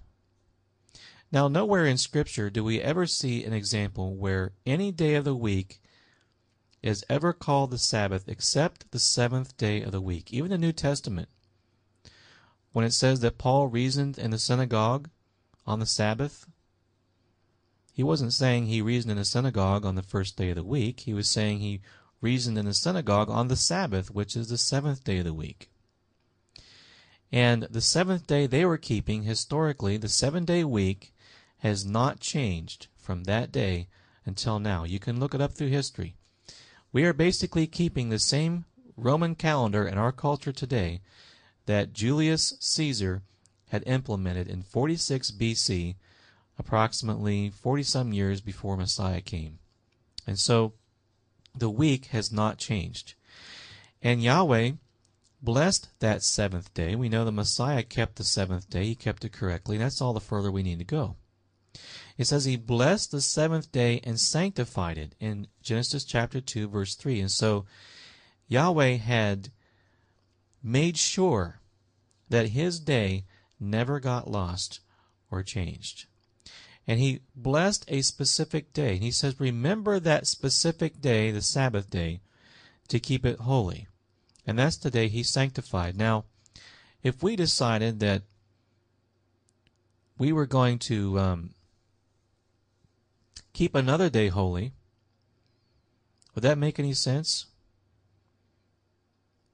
No, because there is no other day that's even holy to begin with. And so for us to keep another day holy that's not even sanctified by Yahweh to begin with is pretty much a waste of time. We're not keeping the day holy that He sanctified. And so Yahweh made this day holy at creation over 2,000 years before there was ever a Jewish man on the earth. Now, I want to give an illustration here that will further demonstrate what I'm trying to say. Suppose a man had seven sheep,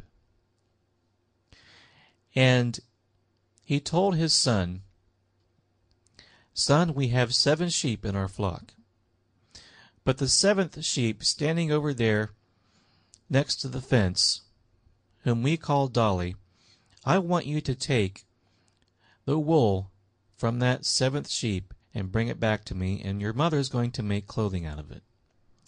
And he said, I want you to take the wool from that sheep because I've set that sheep aside as being special. And the son went up on the pasture, and he looked at the seven sheep, and he decided that he was going to shear the sheep that his father did not tell him to shear. He decided he was going to shear the first sheep. He liked the wool better, and he felt it was a, it was a better quality and gray wool, and so he he sheared the wool of the first sheep, and he brought the wool back to his father. And so the question is did he do what his father commanded him to do? No, he did not. Well, the Heavenly Father has given us a special day, the seventh day of the week, that He commanded us to keep holy because He decided to sanctify it at creation. If we go along and decide to keep another day holy, we're not doing our Father's will, are we? And so, in light of the fact that Christianity has Hebrew roots, not Greek roots, but has Hebrew roots, we need to return to the Hebrew roots of our faith and understand that the Sabbath day really isn't just for Jews. It's for Jews and Gentiles and anyone who wants to join themselves unto our Creator. So, where along the line did Christianity decide it was going to divorce itself from its Hebrew roots?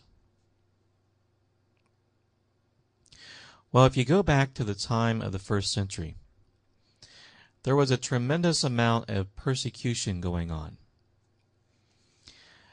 And the reason why there was a lot of persecution going on toward Jews was because in 70 AD, the Jews decided that they were going to rise up against the Roman power and try to overthrow it and establish their own nation. Now, suppose for a moment that there was a segment of the population in the United States, let's say the, the Mexicans in Texas or something, all banded together and tried to rise up against the United States. And um, they were they were fighting against the United States, but the United States came in and overthrew them. And there was all kinds of trouble and turmoil, loss of life. Uh, thousands of people died as a result of that war. What do you think everyone's attitude would be toward Mexican culture in the United States after a war like that. Probably wouldn't be very positive, right? Well, in 70 AD, the Jews had risen up against Rome. And so we can already see there was a tremendous amount of tension between Jews and Gentiles just by reading the book of Acts and, and other verses in the New Testament as well. But when that happened, there was even more persecution toward the Jews, and especially toward anything that made you look Jewish. And of course, Sabbath keeping and keeping commandments like kosher and different things would make you look very Jewish. And especially if you wore tassels and um, did other things that Yahweh had commanded in the law. And so there was a tremendous amount of societal pressure to not come along in the areas of the law that would make you look Jewish. And so they decided at some point that they were going to start meeting on the first day of the week, which was the day of the sun, which was more comfortable for Gentiles um, since they did worship the sun, and uh, instead of the Sabbath day.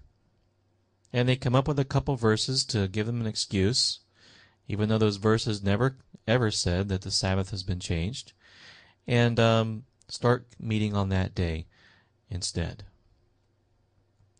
And so, in that whole thing that happened from uh, the late first century, um, early second, and there's actually a prediction in the in the scriptures um, which talks about this falling away, but uh, we don't have time to cover that yet on this video. But anyway, through that whole insurrection, the anti Semitism rose up even more, and there were ensuing persecutions and battles between Jew and Gentile. And then later in the second century, the Bar Kokhba revolt. Um, it was so bad, and so many people had lost their lives um, that there was a tremendous amount of even more persecution between Jew and Gentile. So anything that looked Jewish you were going to end up being persecuted for doing. In Romans chapter 11, verse 7 through 11, it says, Israel has not obtained what it seeks, but the elect have attained it, and the rest were blinded. What did it seek? It sought righteousness, right? It sought to have salvation. It sought to dwell in the promised land forever and ever. But Israel did not obtain it. Only the elect of Israel actually obtained it. Paul was a Jew. Peter was a Jew. James was a Jew. John, they all were Jews. And so the elect obtained it, but the rest were blinded. And it was actually predicted that was going to happen, just as it is written Yahweh has given them a spirit of stupor, eyes that they should not see, and ears that they should not hear to this very day. And David said, says, Let their table become a snare and a trap, a stumbling block and a recompense to them. Let their eyes be darkened so they do not see, and bow down their back always. I say then, have they stumbled that they should fall? Certainly not. But through their fall, to provoke them to jealousy, salvation has come to the Gentiles. Isn't that interesting? The reason why we have a situation where the Jews are blinded was so that the Gentiles would, would receive salvation and provoke them to jealousy. Now, let me ask you a question. Do we see anything here that would provoke a Jewish man to jealousy? And do we see anything here that would provoke a Jew to jealousy? Now you notice the uh, picture there on the left. There's a sign in front of the building, big sign there, hog roast. And um, of course, there's a roasted hog there on the right, and then below that, an advertisement for the pig roast at the um, local church there, St. Thomas Mission Committee. Now, how about this photo? These photos here. Do you think that uh, there's anything here that would provoke a Jewish man to jealousy?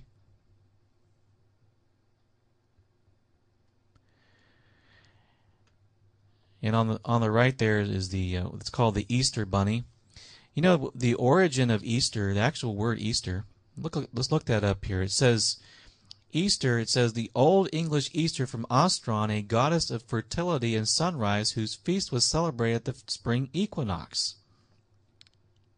And so the very word Easter is the name of a goddess, the goddess of fertility, and that's why, you know, rabbits, which are very fertile, are pretty common. The bunny rabbits, Easter rabbits, and the eggs, and so on. All for fertility symbols. You see anything here in Easter that would provoke a Jewish man to jealousy? Shouldn't we be keeping Passover? Knowing that the Messiah himself is called our Passover? That was sacrificed for us? Absolutely. We need to turn away from these Greek things, these idolatrous named feasts and start keeping the ones that Yahweh Himself commanded. There's so much more blessing in that, and there's so much more that's going to provoke a Jewish man to jealousy in that. And as a result of people like us who are keeping these feasts, who are keeping the Sabbath day, who are returning to the Hebrew roots of our faith, and understanding that the Messiah was not Greek he was Jewish, and that He lives in us and dwells in us, causing us to do the things that He did. Through that understanding, there are many Jews today who are starting to find the Messiah and are being provoked to jealousy. All these years of Christian tradition and they've never really seen what the Messiah was actually like. He was a commandment keeper, not a commandment breaker. He was not a sinner. He was a perfect man who kept every one of the Father's commandments. You know, messianic congregations are popping up in most every city here in the United States. And there are also many in the land of Israel. You see, Christianity is a religion that has its origins in first century Judaism. And if we choose to separate ourselves from Jews and Jewish things, then we also need to separate ourselves from Peter, James, John, Mark, Matthew, and all the other Jewish believers of the first century. We have to separate ourselves from Paul, who was also Jewish. And if so, if we reject things on the basis that they're Jewish, well, we have to refuse the Messiah too, because he was Jewish. Now, I've explained in detail how the feast days are a beautiful scriptural picture of the Messiah. Think back the Passover, Him being the Lamb, the first fruits, Him being the first fruits, the unleavened bread, our unleavened state when we partake of the Passover lamb without sin. The giving of the, the Spirit and the giving of the law on Pentecost. The return of the Messiah with the Feast of Trumpets. The Messiah entering the Holy of Holies for us so that we would receive atonement and our tabernacling with Yahweh forever and ever. Don't these sound like things that point to Him and things that we ought to be participating in because they do point to him. Instead of saying, well, Messiah fulfilled all that, which I know he did, why don't we say, because they point to Messiah, we ought to keep them? Because the Messiah did fulfill them, we need to fulfill them. Because we need to live as he lived. We need to do the things that he did. He kept every one of the Father's commands and so should we. It was never intended to be ignored. And we saw in Zechariah 14, when the Heavenly Father's will is finally done, both Jew and Gentile are coming together to keep the Feast of Tabernacles. And so, if the feast days are such a beautiful scriptural picture of the Messiah, why would we want to ignore them?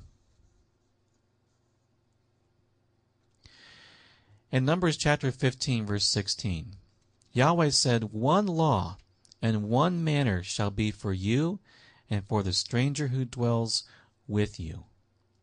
If we understand that one law is for Jew and Gentile, and we understand that these feasts and these observances point to the plan of salvation so beautifully, so much more than Christmas and Easter, which have their roots in idol worship rather than the scriptures, then why would we want to ignore these things and cleave to things that are not from the Scriptures?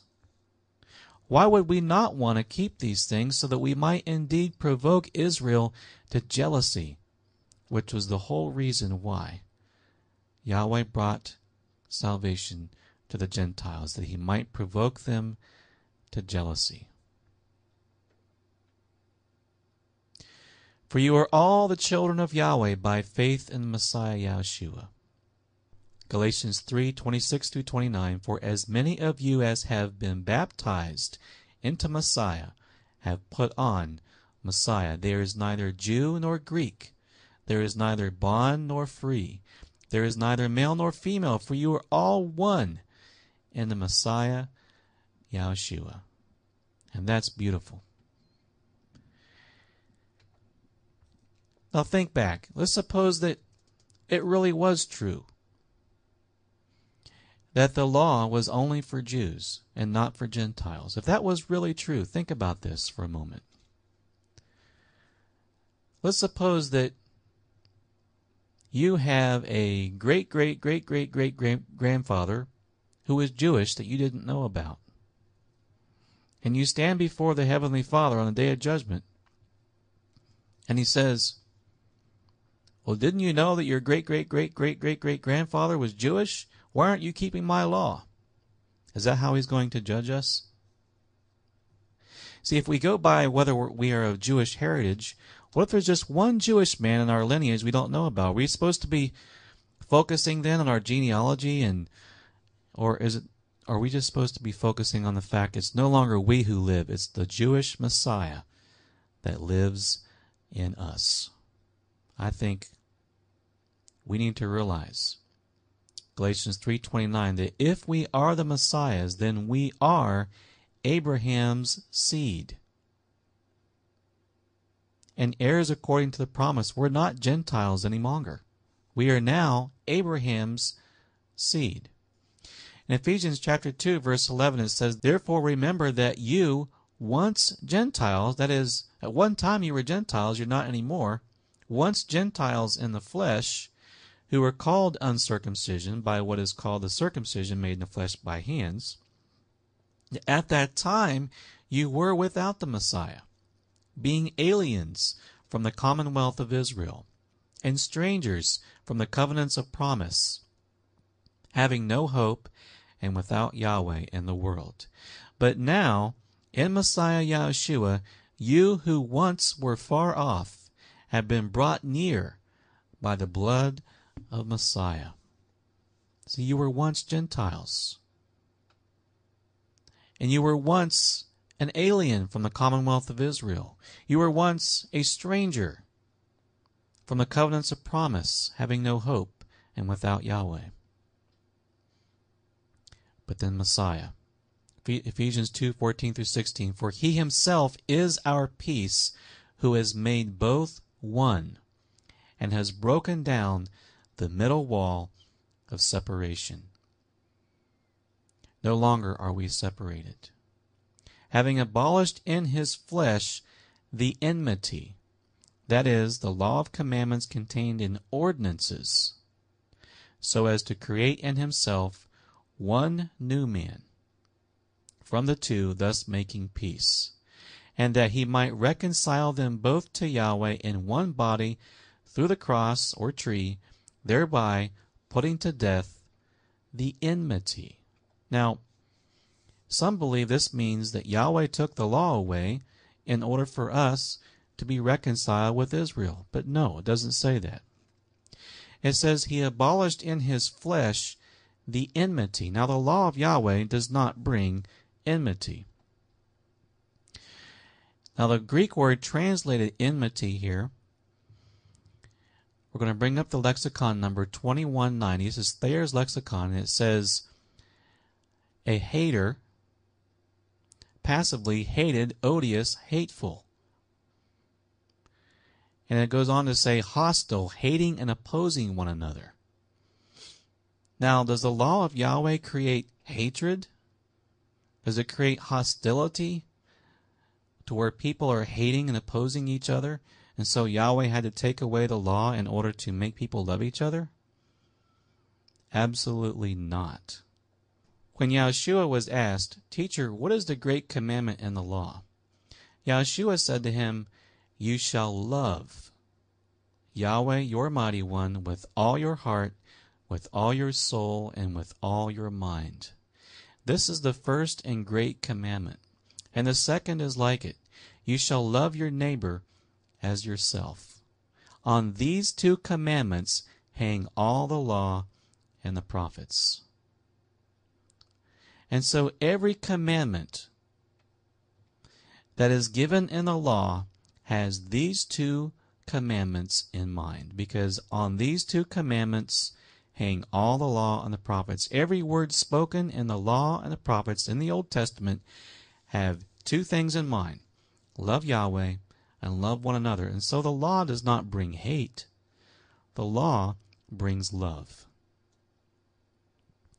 Now, Yahshua spoke to the multitudes in Matthew chapter 23, verses 1 through 4, and to his disciples he said, The scribes and Pharisees sit in Moses' seat. Therefore, whatever they tell you to observe, that observe and do, but do not do according to their works, for they say and do not do. For they bind heavy burdens, hard to bear, and lay them on men's shoulders, but they themselves will not move them with one of their fingers.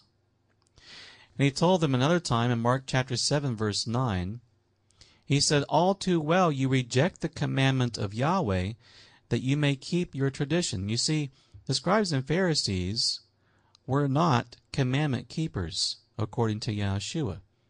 They rejected the commandment of Yahweh so that they could keep their traditions. A lot of people think that, well, these are the perfect people that kept the law perfectly. No, they didn't. They were terrible at law keeping, but they were really good at keeping their ordinances of men. And this is the law of commandments contained in ordinances. And the Greek word translated ordinances is dogma, which means a decree by men. And so that is what was taken away. And there were numerous things that the scribes and Pharisees had set up at that time to separate the Jews from the Gentiles. And that's what was broken down. That was the wall of separation that was broken down. The law itself never broke never created a wall between Jew and Gentile. He said one law shall be for you and the stranger. And he invited the Gentiles to come in and keep the Sabbath day. We read that earlier. But there were commandments of men that had been set up to keep the Jews and Gentiles separated and being aliens. Yahshua came and broke down all those ordinances of men which were sinful, took them out of the way, Yahweh had said all along in Deuteronomy chapter 12, verse 32, Whatever I command you, be careful to observe it. You shall not add to it, nor take away from it. And so, let's look at this again. Ephesians chapter 2, verse 17 through 21. And he came and preached peace to you who were afar off and to those who were near. For through him, through that's Messiah, we both have access by one Spirit to the Father. See, Paul is a Jew. He says we both have access by one Spirit to the Father. Therefore, now therefore, you are no longer strangers and foreigners, but fellow citizens with the saints and the members of the household of Yahweh in whom the whole building being joined together grows into a holy temple in Yahweh, in whom you also are being built together for a dwelling place of Yahweh in the Spirit. And so we are no longer strangers, we're no longer Gentiles, we're no longer foreigners. We once were, but we're no longer strangers and aliens from the commonwealth of Israel. We are brought near it is no longer we who live, it's Messiah who lives in us. And so, therefore, we are Israel, and we are Abraham's seed. And there is no distinction between Jew and Greek, for the same Master over all is rich to all who call upon him. For whoever calls on the name of Yahweh shall be saved. Romans 10, verse 12 through 13. And so there's his name again. So why don't we do what he says and call on the name of Yahweh? For from the rising of the sun even to its going down, Yahweh says, My name shall be great among the Gentiles. Why don't we make it so in our hearts and in our lives? Let's magnify Yahweh together and exalt his name together. Psalm 34, verse 3, and Malachi 1, 11. In Romans chapter 11, verse 16, or verses 11 through 16. Continuing back in Romans 11, For I speak to you, Gentiles, inasmuch as I am an apostle to the Gentiles, I magnify my ministry. If by any means I may provoke to jealousy those who are my flesh and save some of them. See, he wanted to provoke his fellow countrymen to jealousy. For if their being cast away is the reconciling of the world, see, because they were rejecting Messiah, the whole world was reconciled. What will their acceptance be when Yahweh receives them again, but life from the dead? For if the first fruit is holy, the lump is also holy. And if the root is holy, so are the branches. And if some of the branches were broken off, and you, being a wild olive tree, were grafted in among them, so Gentiles are grafted in, and with them became a partaker of the root and fatness of the olive tree. Do not boast against the branches. But if you do boast, remember that you do not support the root, but the root supports you. The Hebrew roots. Well said, because of unbelief they were broken off, and you stand by faith. Do not be haughty, but fear. For if Yahweh did not spare the natural branches, Israel, he may not spare you either.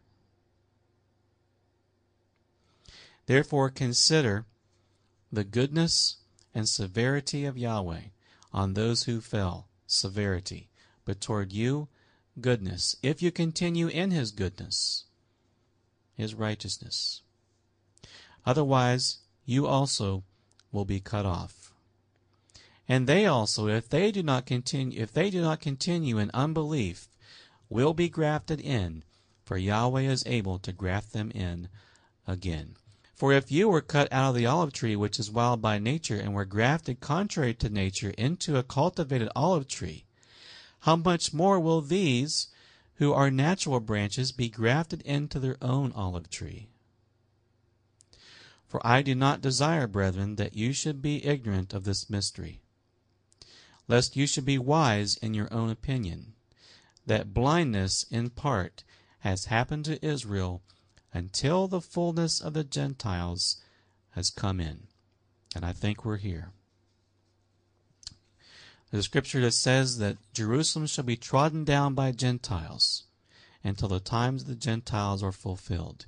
Jerusalem was retaken by the people of Israel in 1967. And there's been a curious thing that's happened in Christianity since about that time. And that is people are starting to understand and seek out their Jewish roots, the Hebrew roots of their faith, and they're beginning to practice these things that Yahweh has commanded. And as a result, many Jews are coming to the, to the Messiah. And so all Israel will be saved, as it is written. The deliverer will come out of Zion, and he will turn away unrighteousness from Jacob. And so it's all predicted. And it's also predicted that the Jews one day will receive the Messiah again. He said, Yeshua said in Matthew 23, verse 37 through thirty-nine. 39, O Jerusalem, Jerusalem, the one who kills the prophets and stones those who are sent to her. How often I wanted to gather your children together as a hen gathers her chicks under her wings, but you were not willing. See, your house is left to you desolate. For I say to you, you shall see me no more, till you say, Blessed is he who comes in the name of Yahweh. You see, it was all predicted. Jerusalem would fall. Your house will be left to you desolate. This is the last time he entered Jerusalem, Matthew 23. And he said, You will see me no more until you say, Blessed is he who comes in the name of Yahweh. Who is he that comes in the name of Yahweh?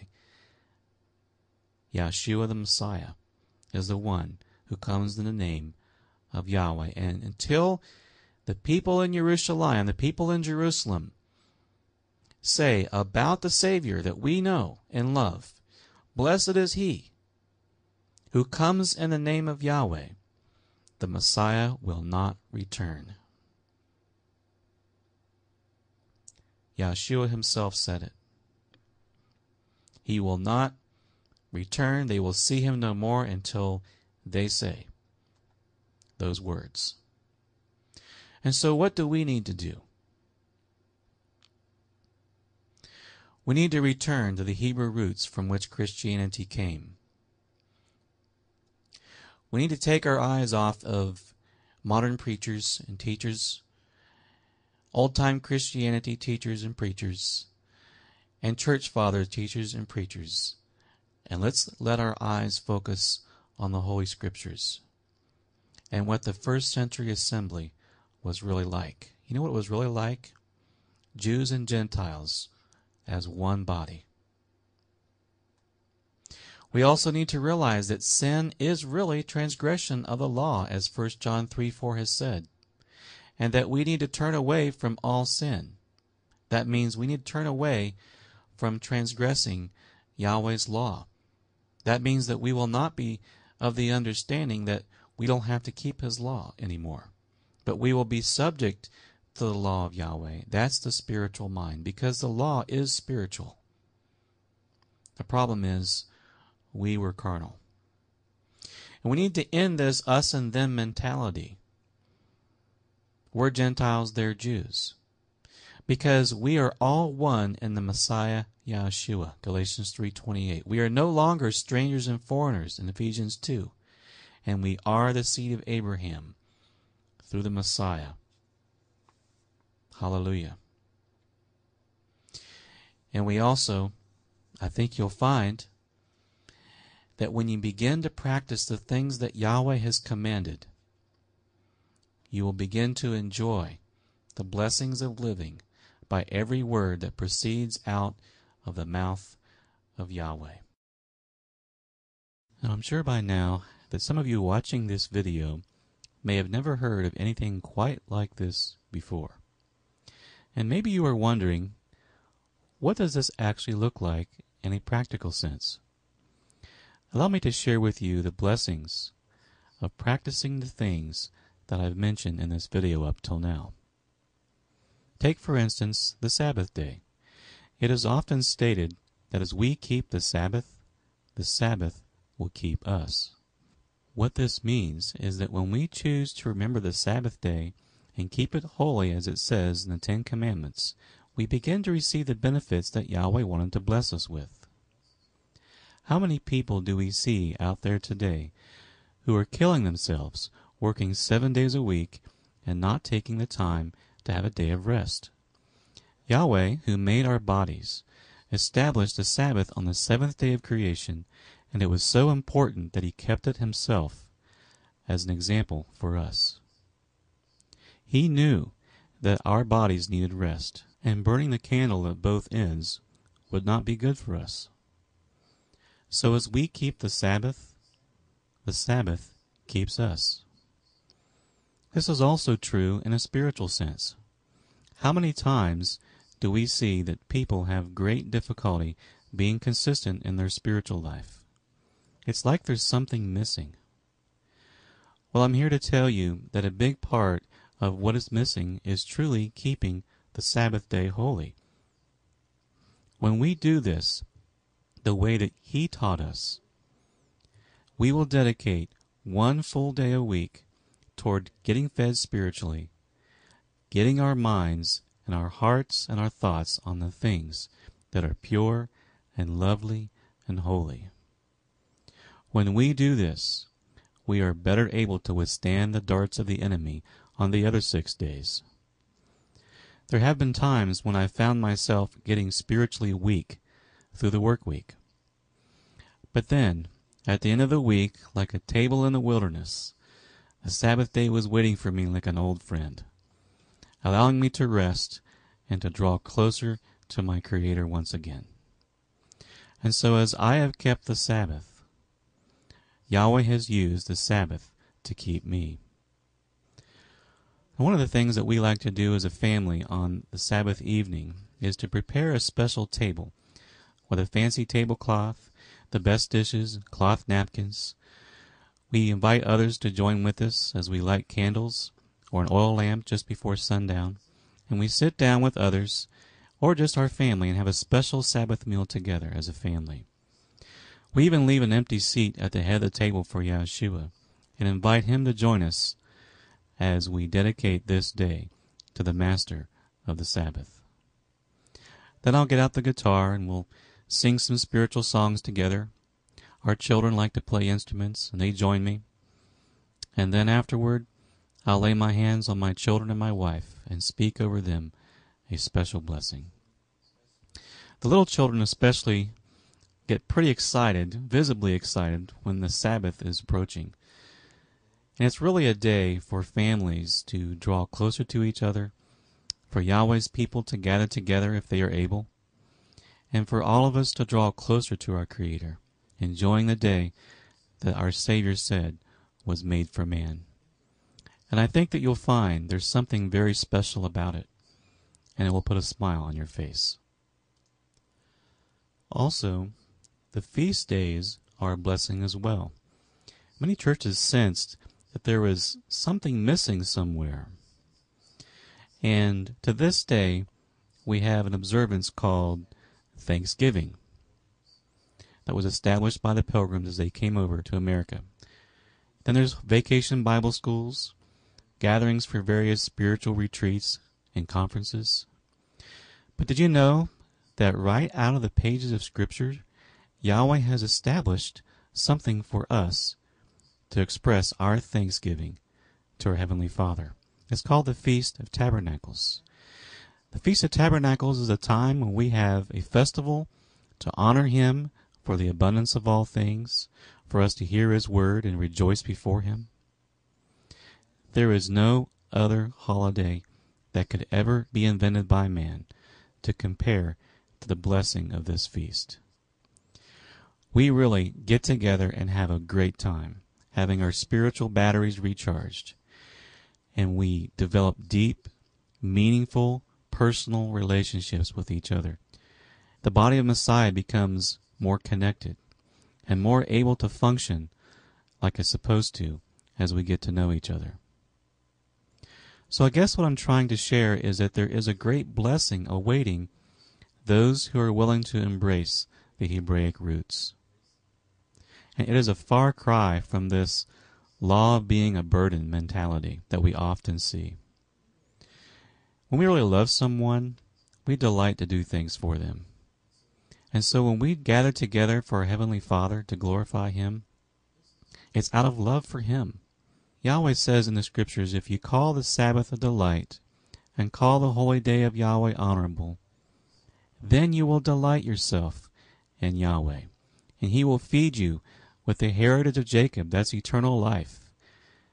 And the mouth of Yahweh has spoken. We can believe it. The mouth of Yahweh has spoken. He will bless us. Every autumn in September or October, we hold a gathering. The Feast of Tabernacles in Eminence, Missouri. There we have an entire campground to ourselves, and it is a very wonderful time of fellowship and drawing near to Yahweh together, learning from each other, baptizing, finding new people to fellowship with, learning each other's prayer needs, with new relationships being formed, so we may bear one another's burdens more effectively. And so, if keeping these appointed times sound like a blessing to you, keep an eye on Eliyah.com for the next feast gathering.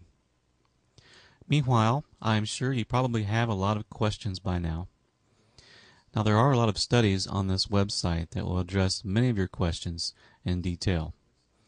For instance, there's a verse by verse study on the book of Galatians. We also hold a live video broadcast every Sabbath at 12 noon Eastern Time.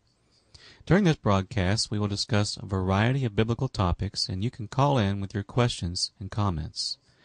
There is also music and special things for children as well during the broadcast. Meanwhile, I hope that you've enjoyed this presentation on the Hebrew roots of Christianity.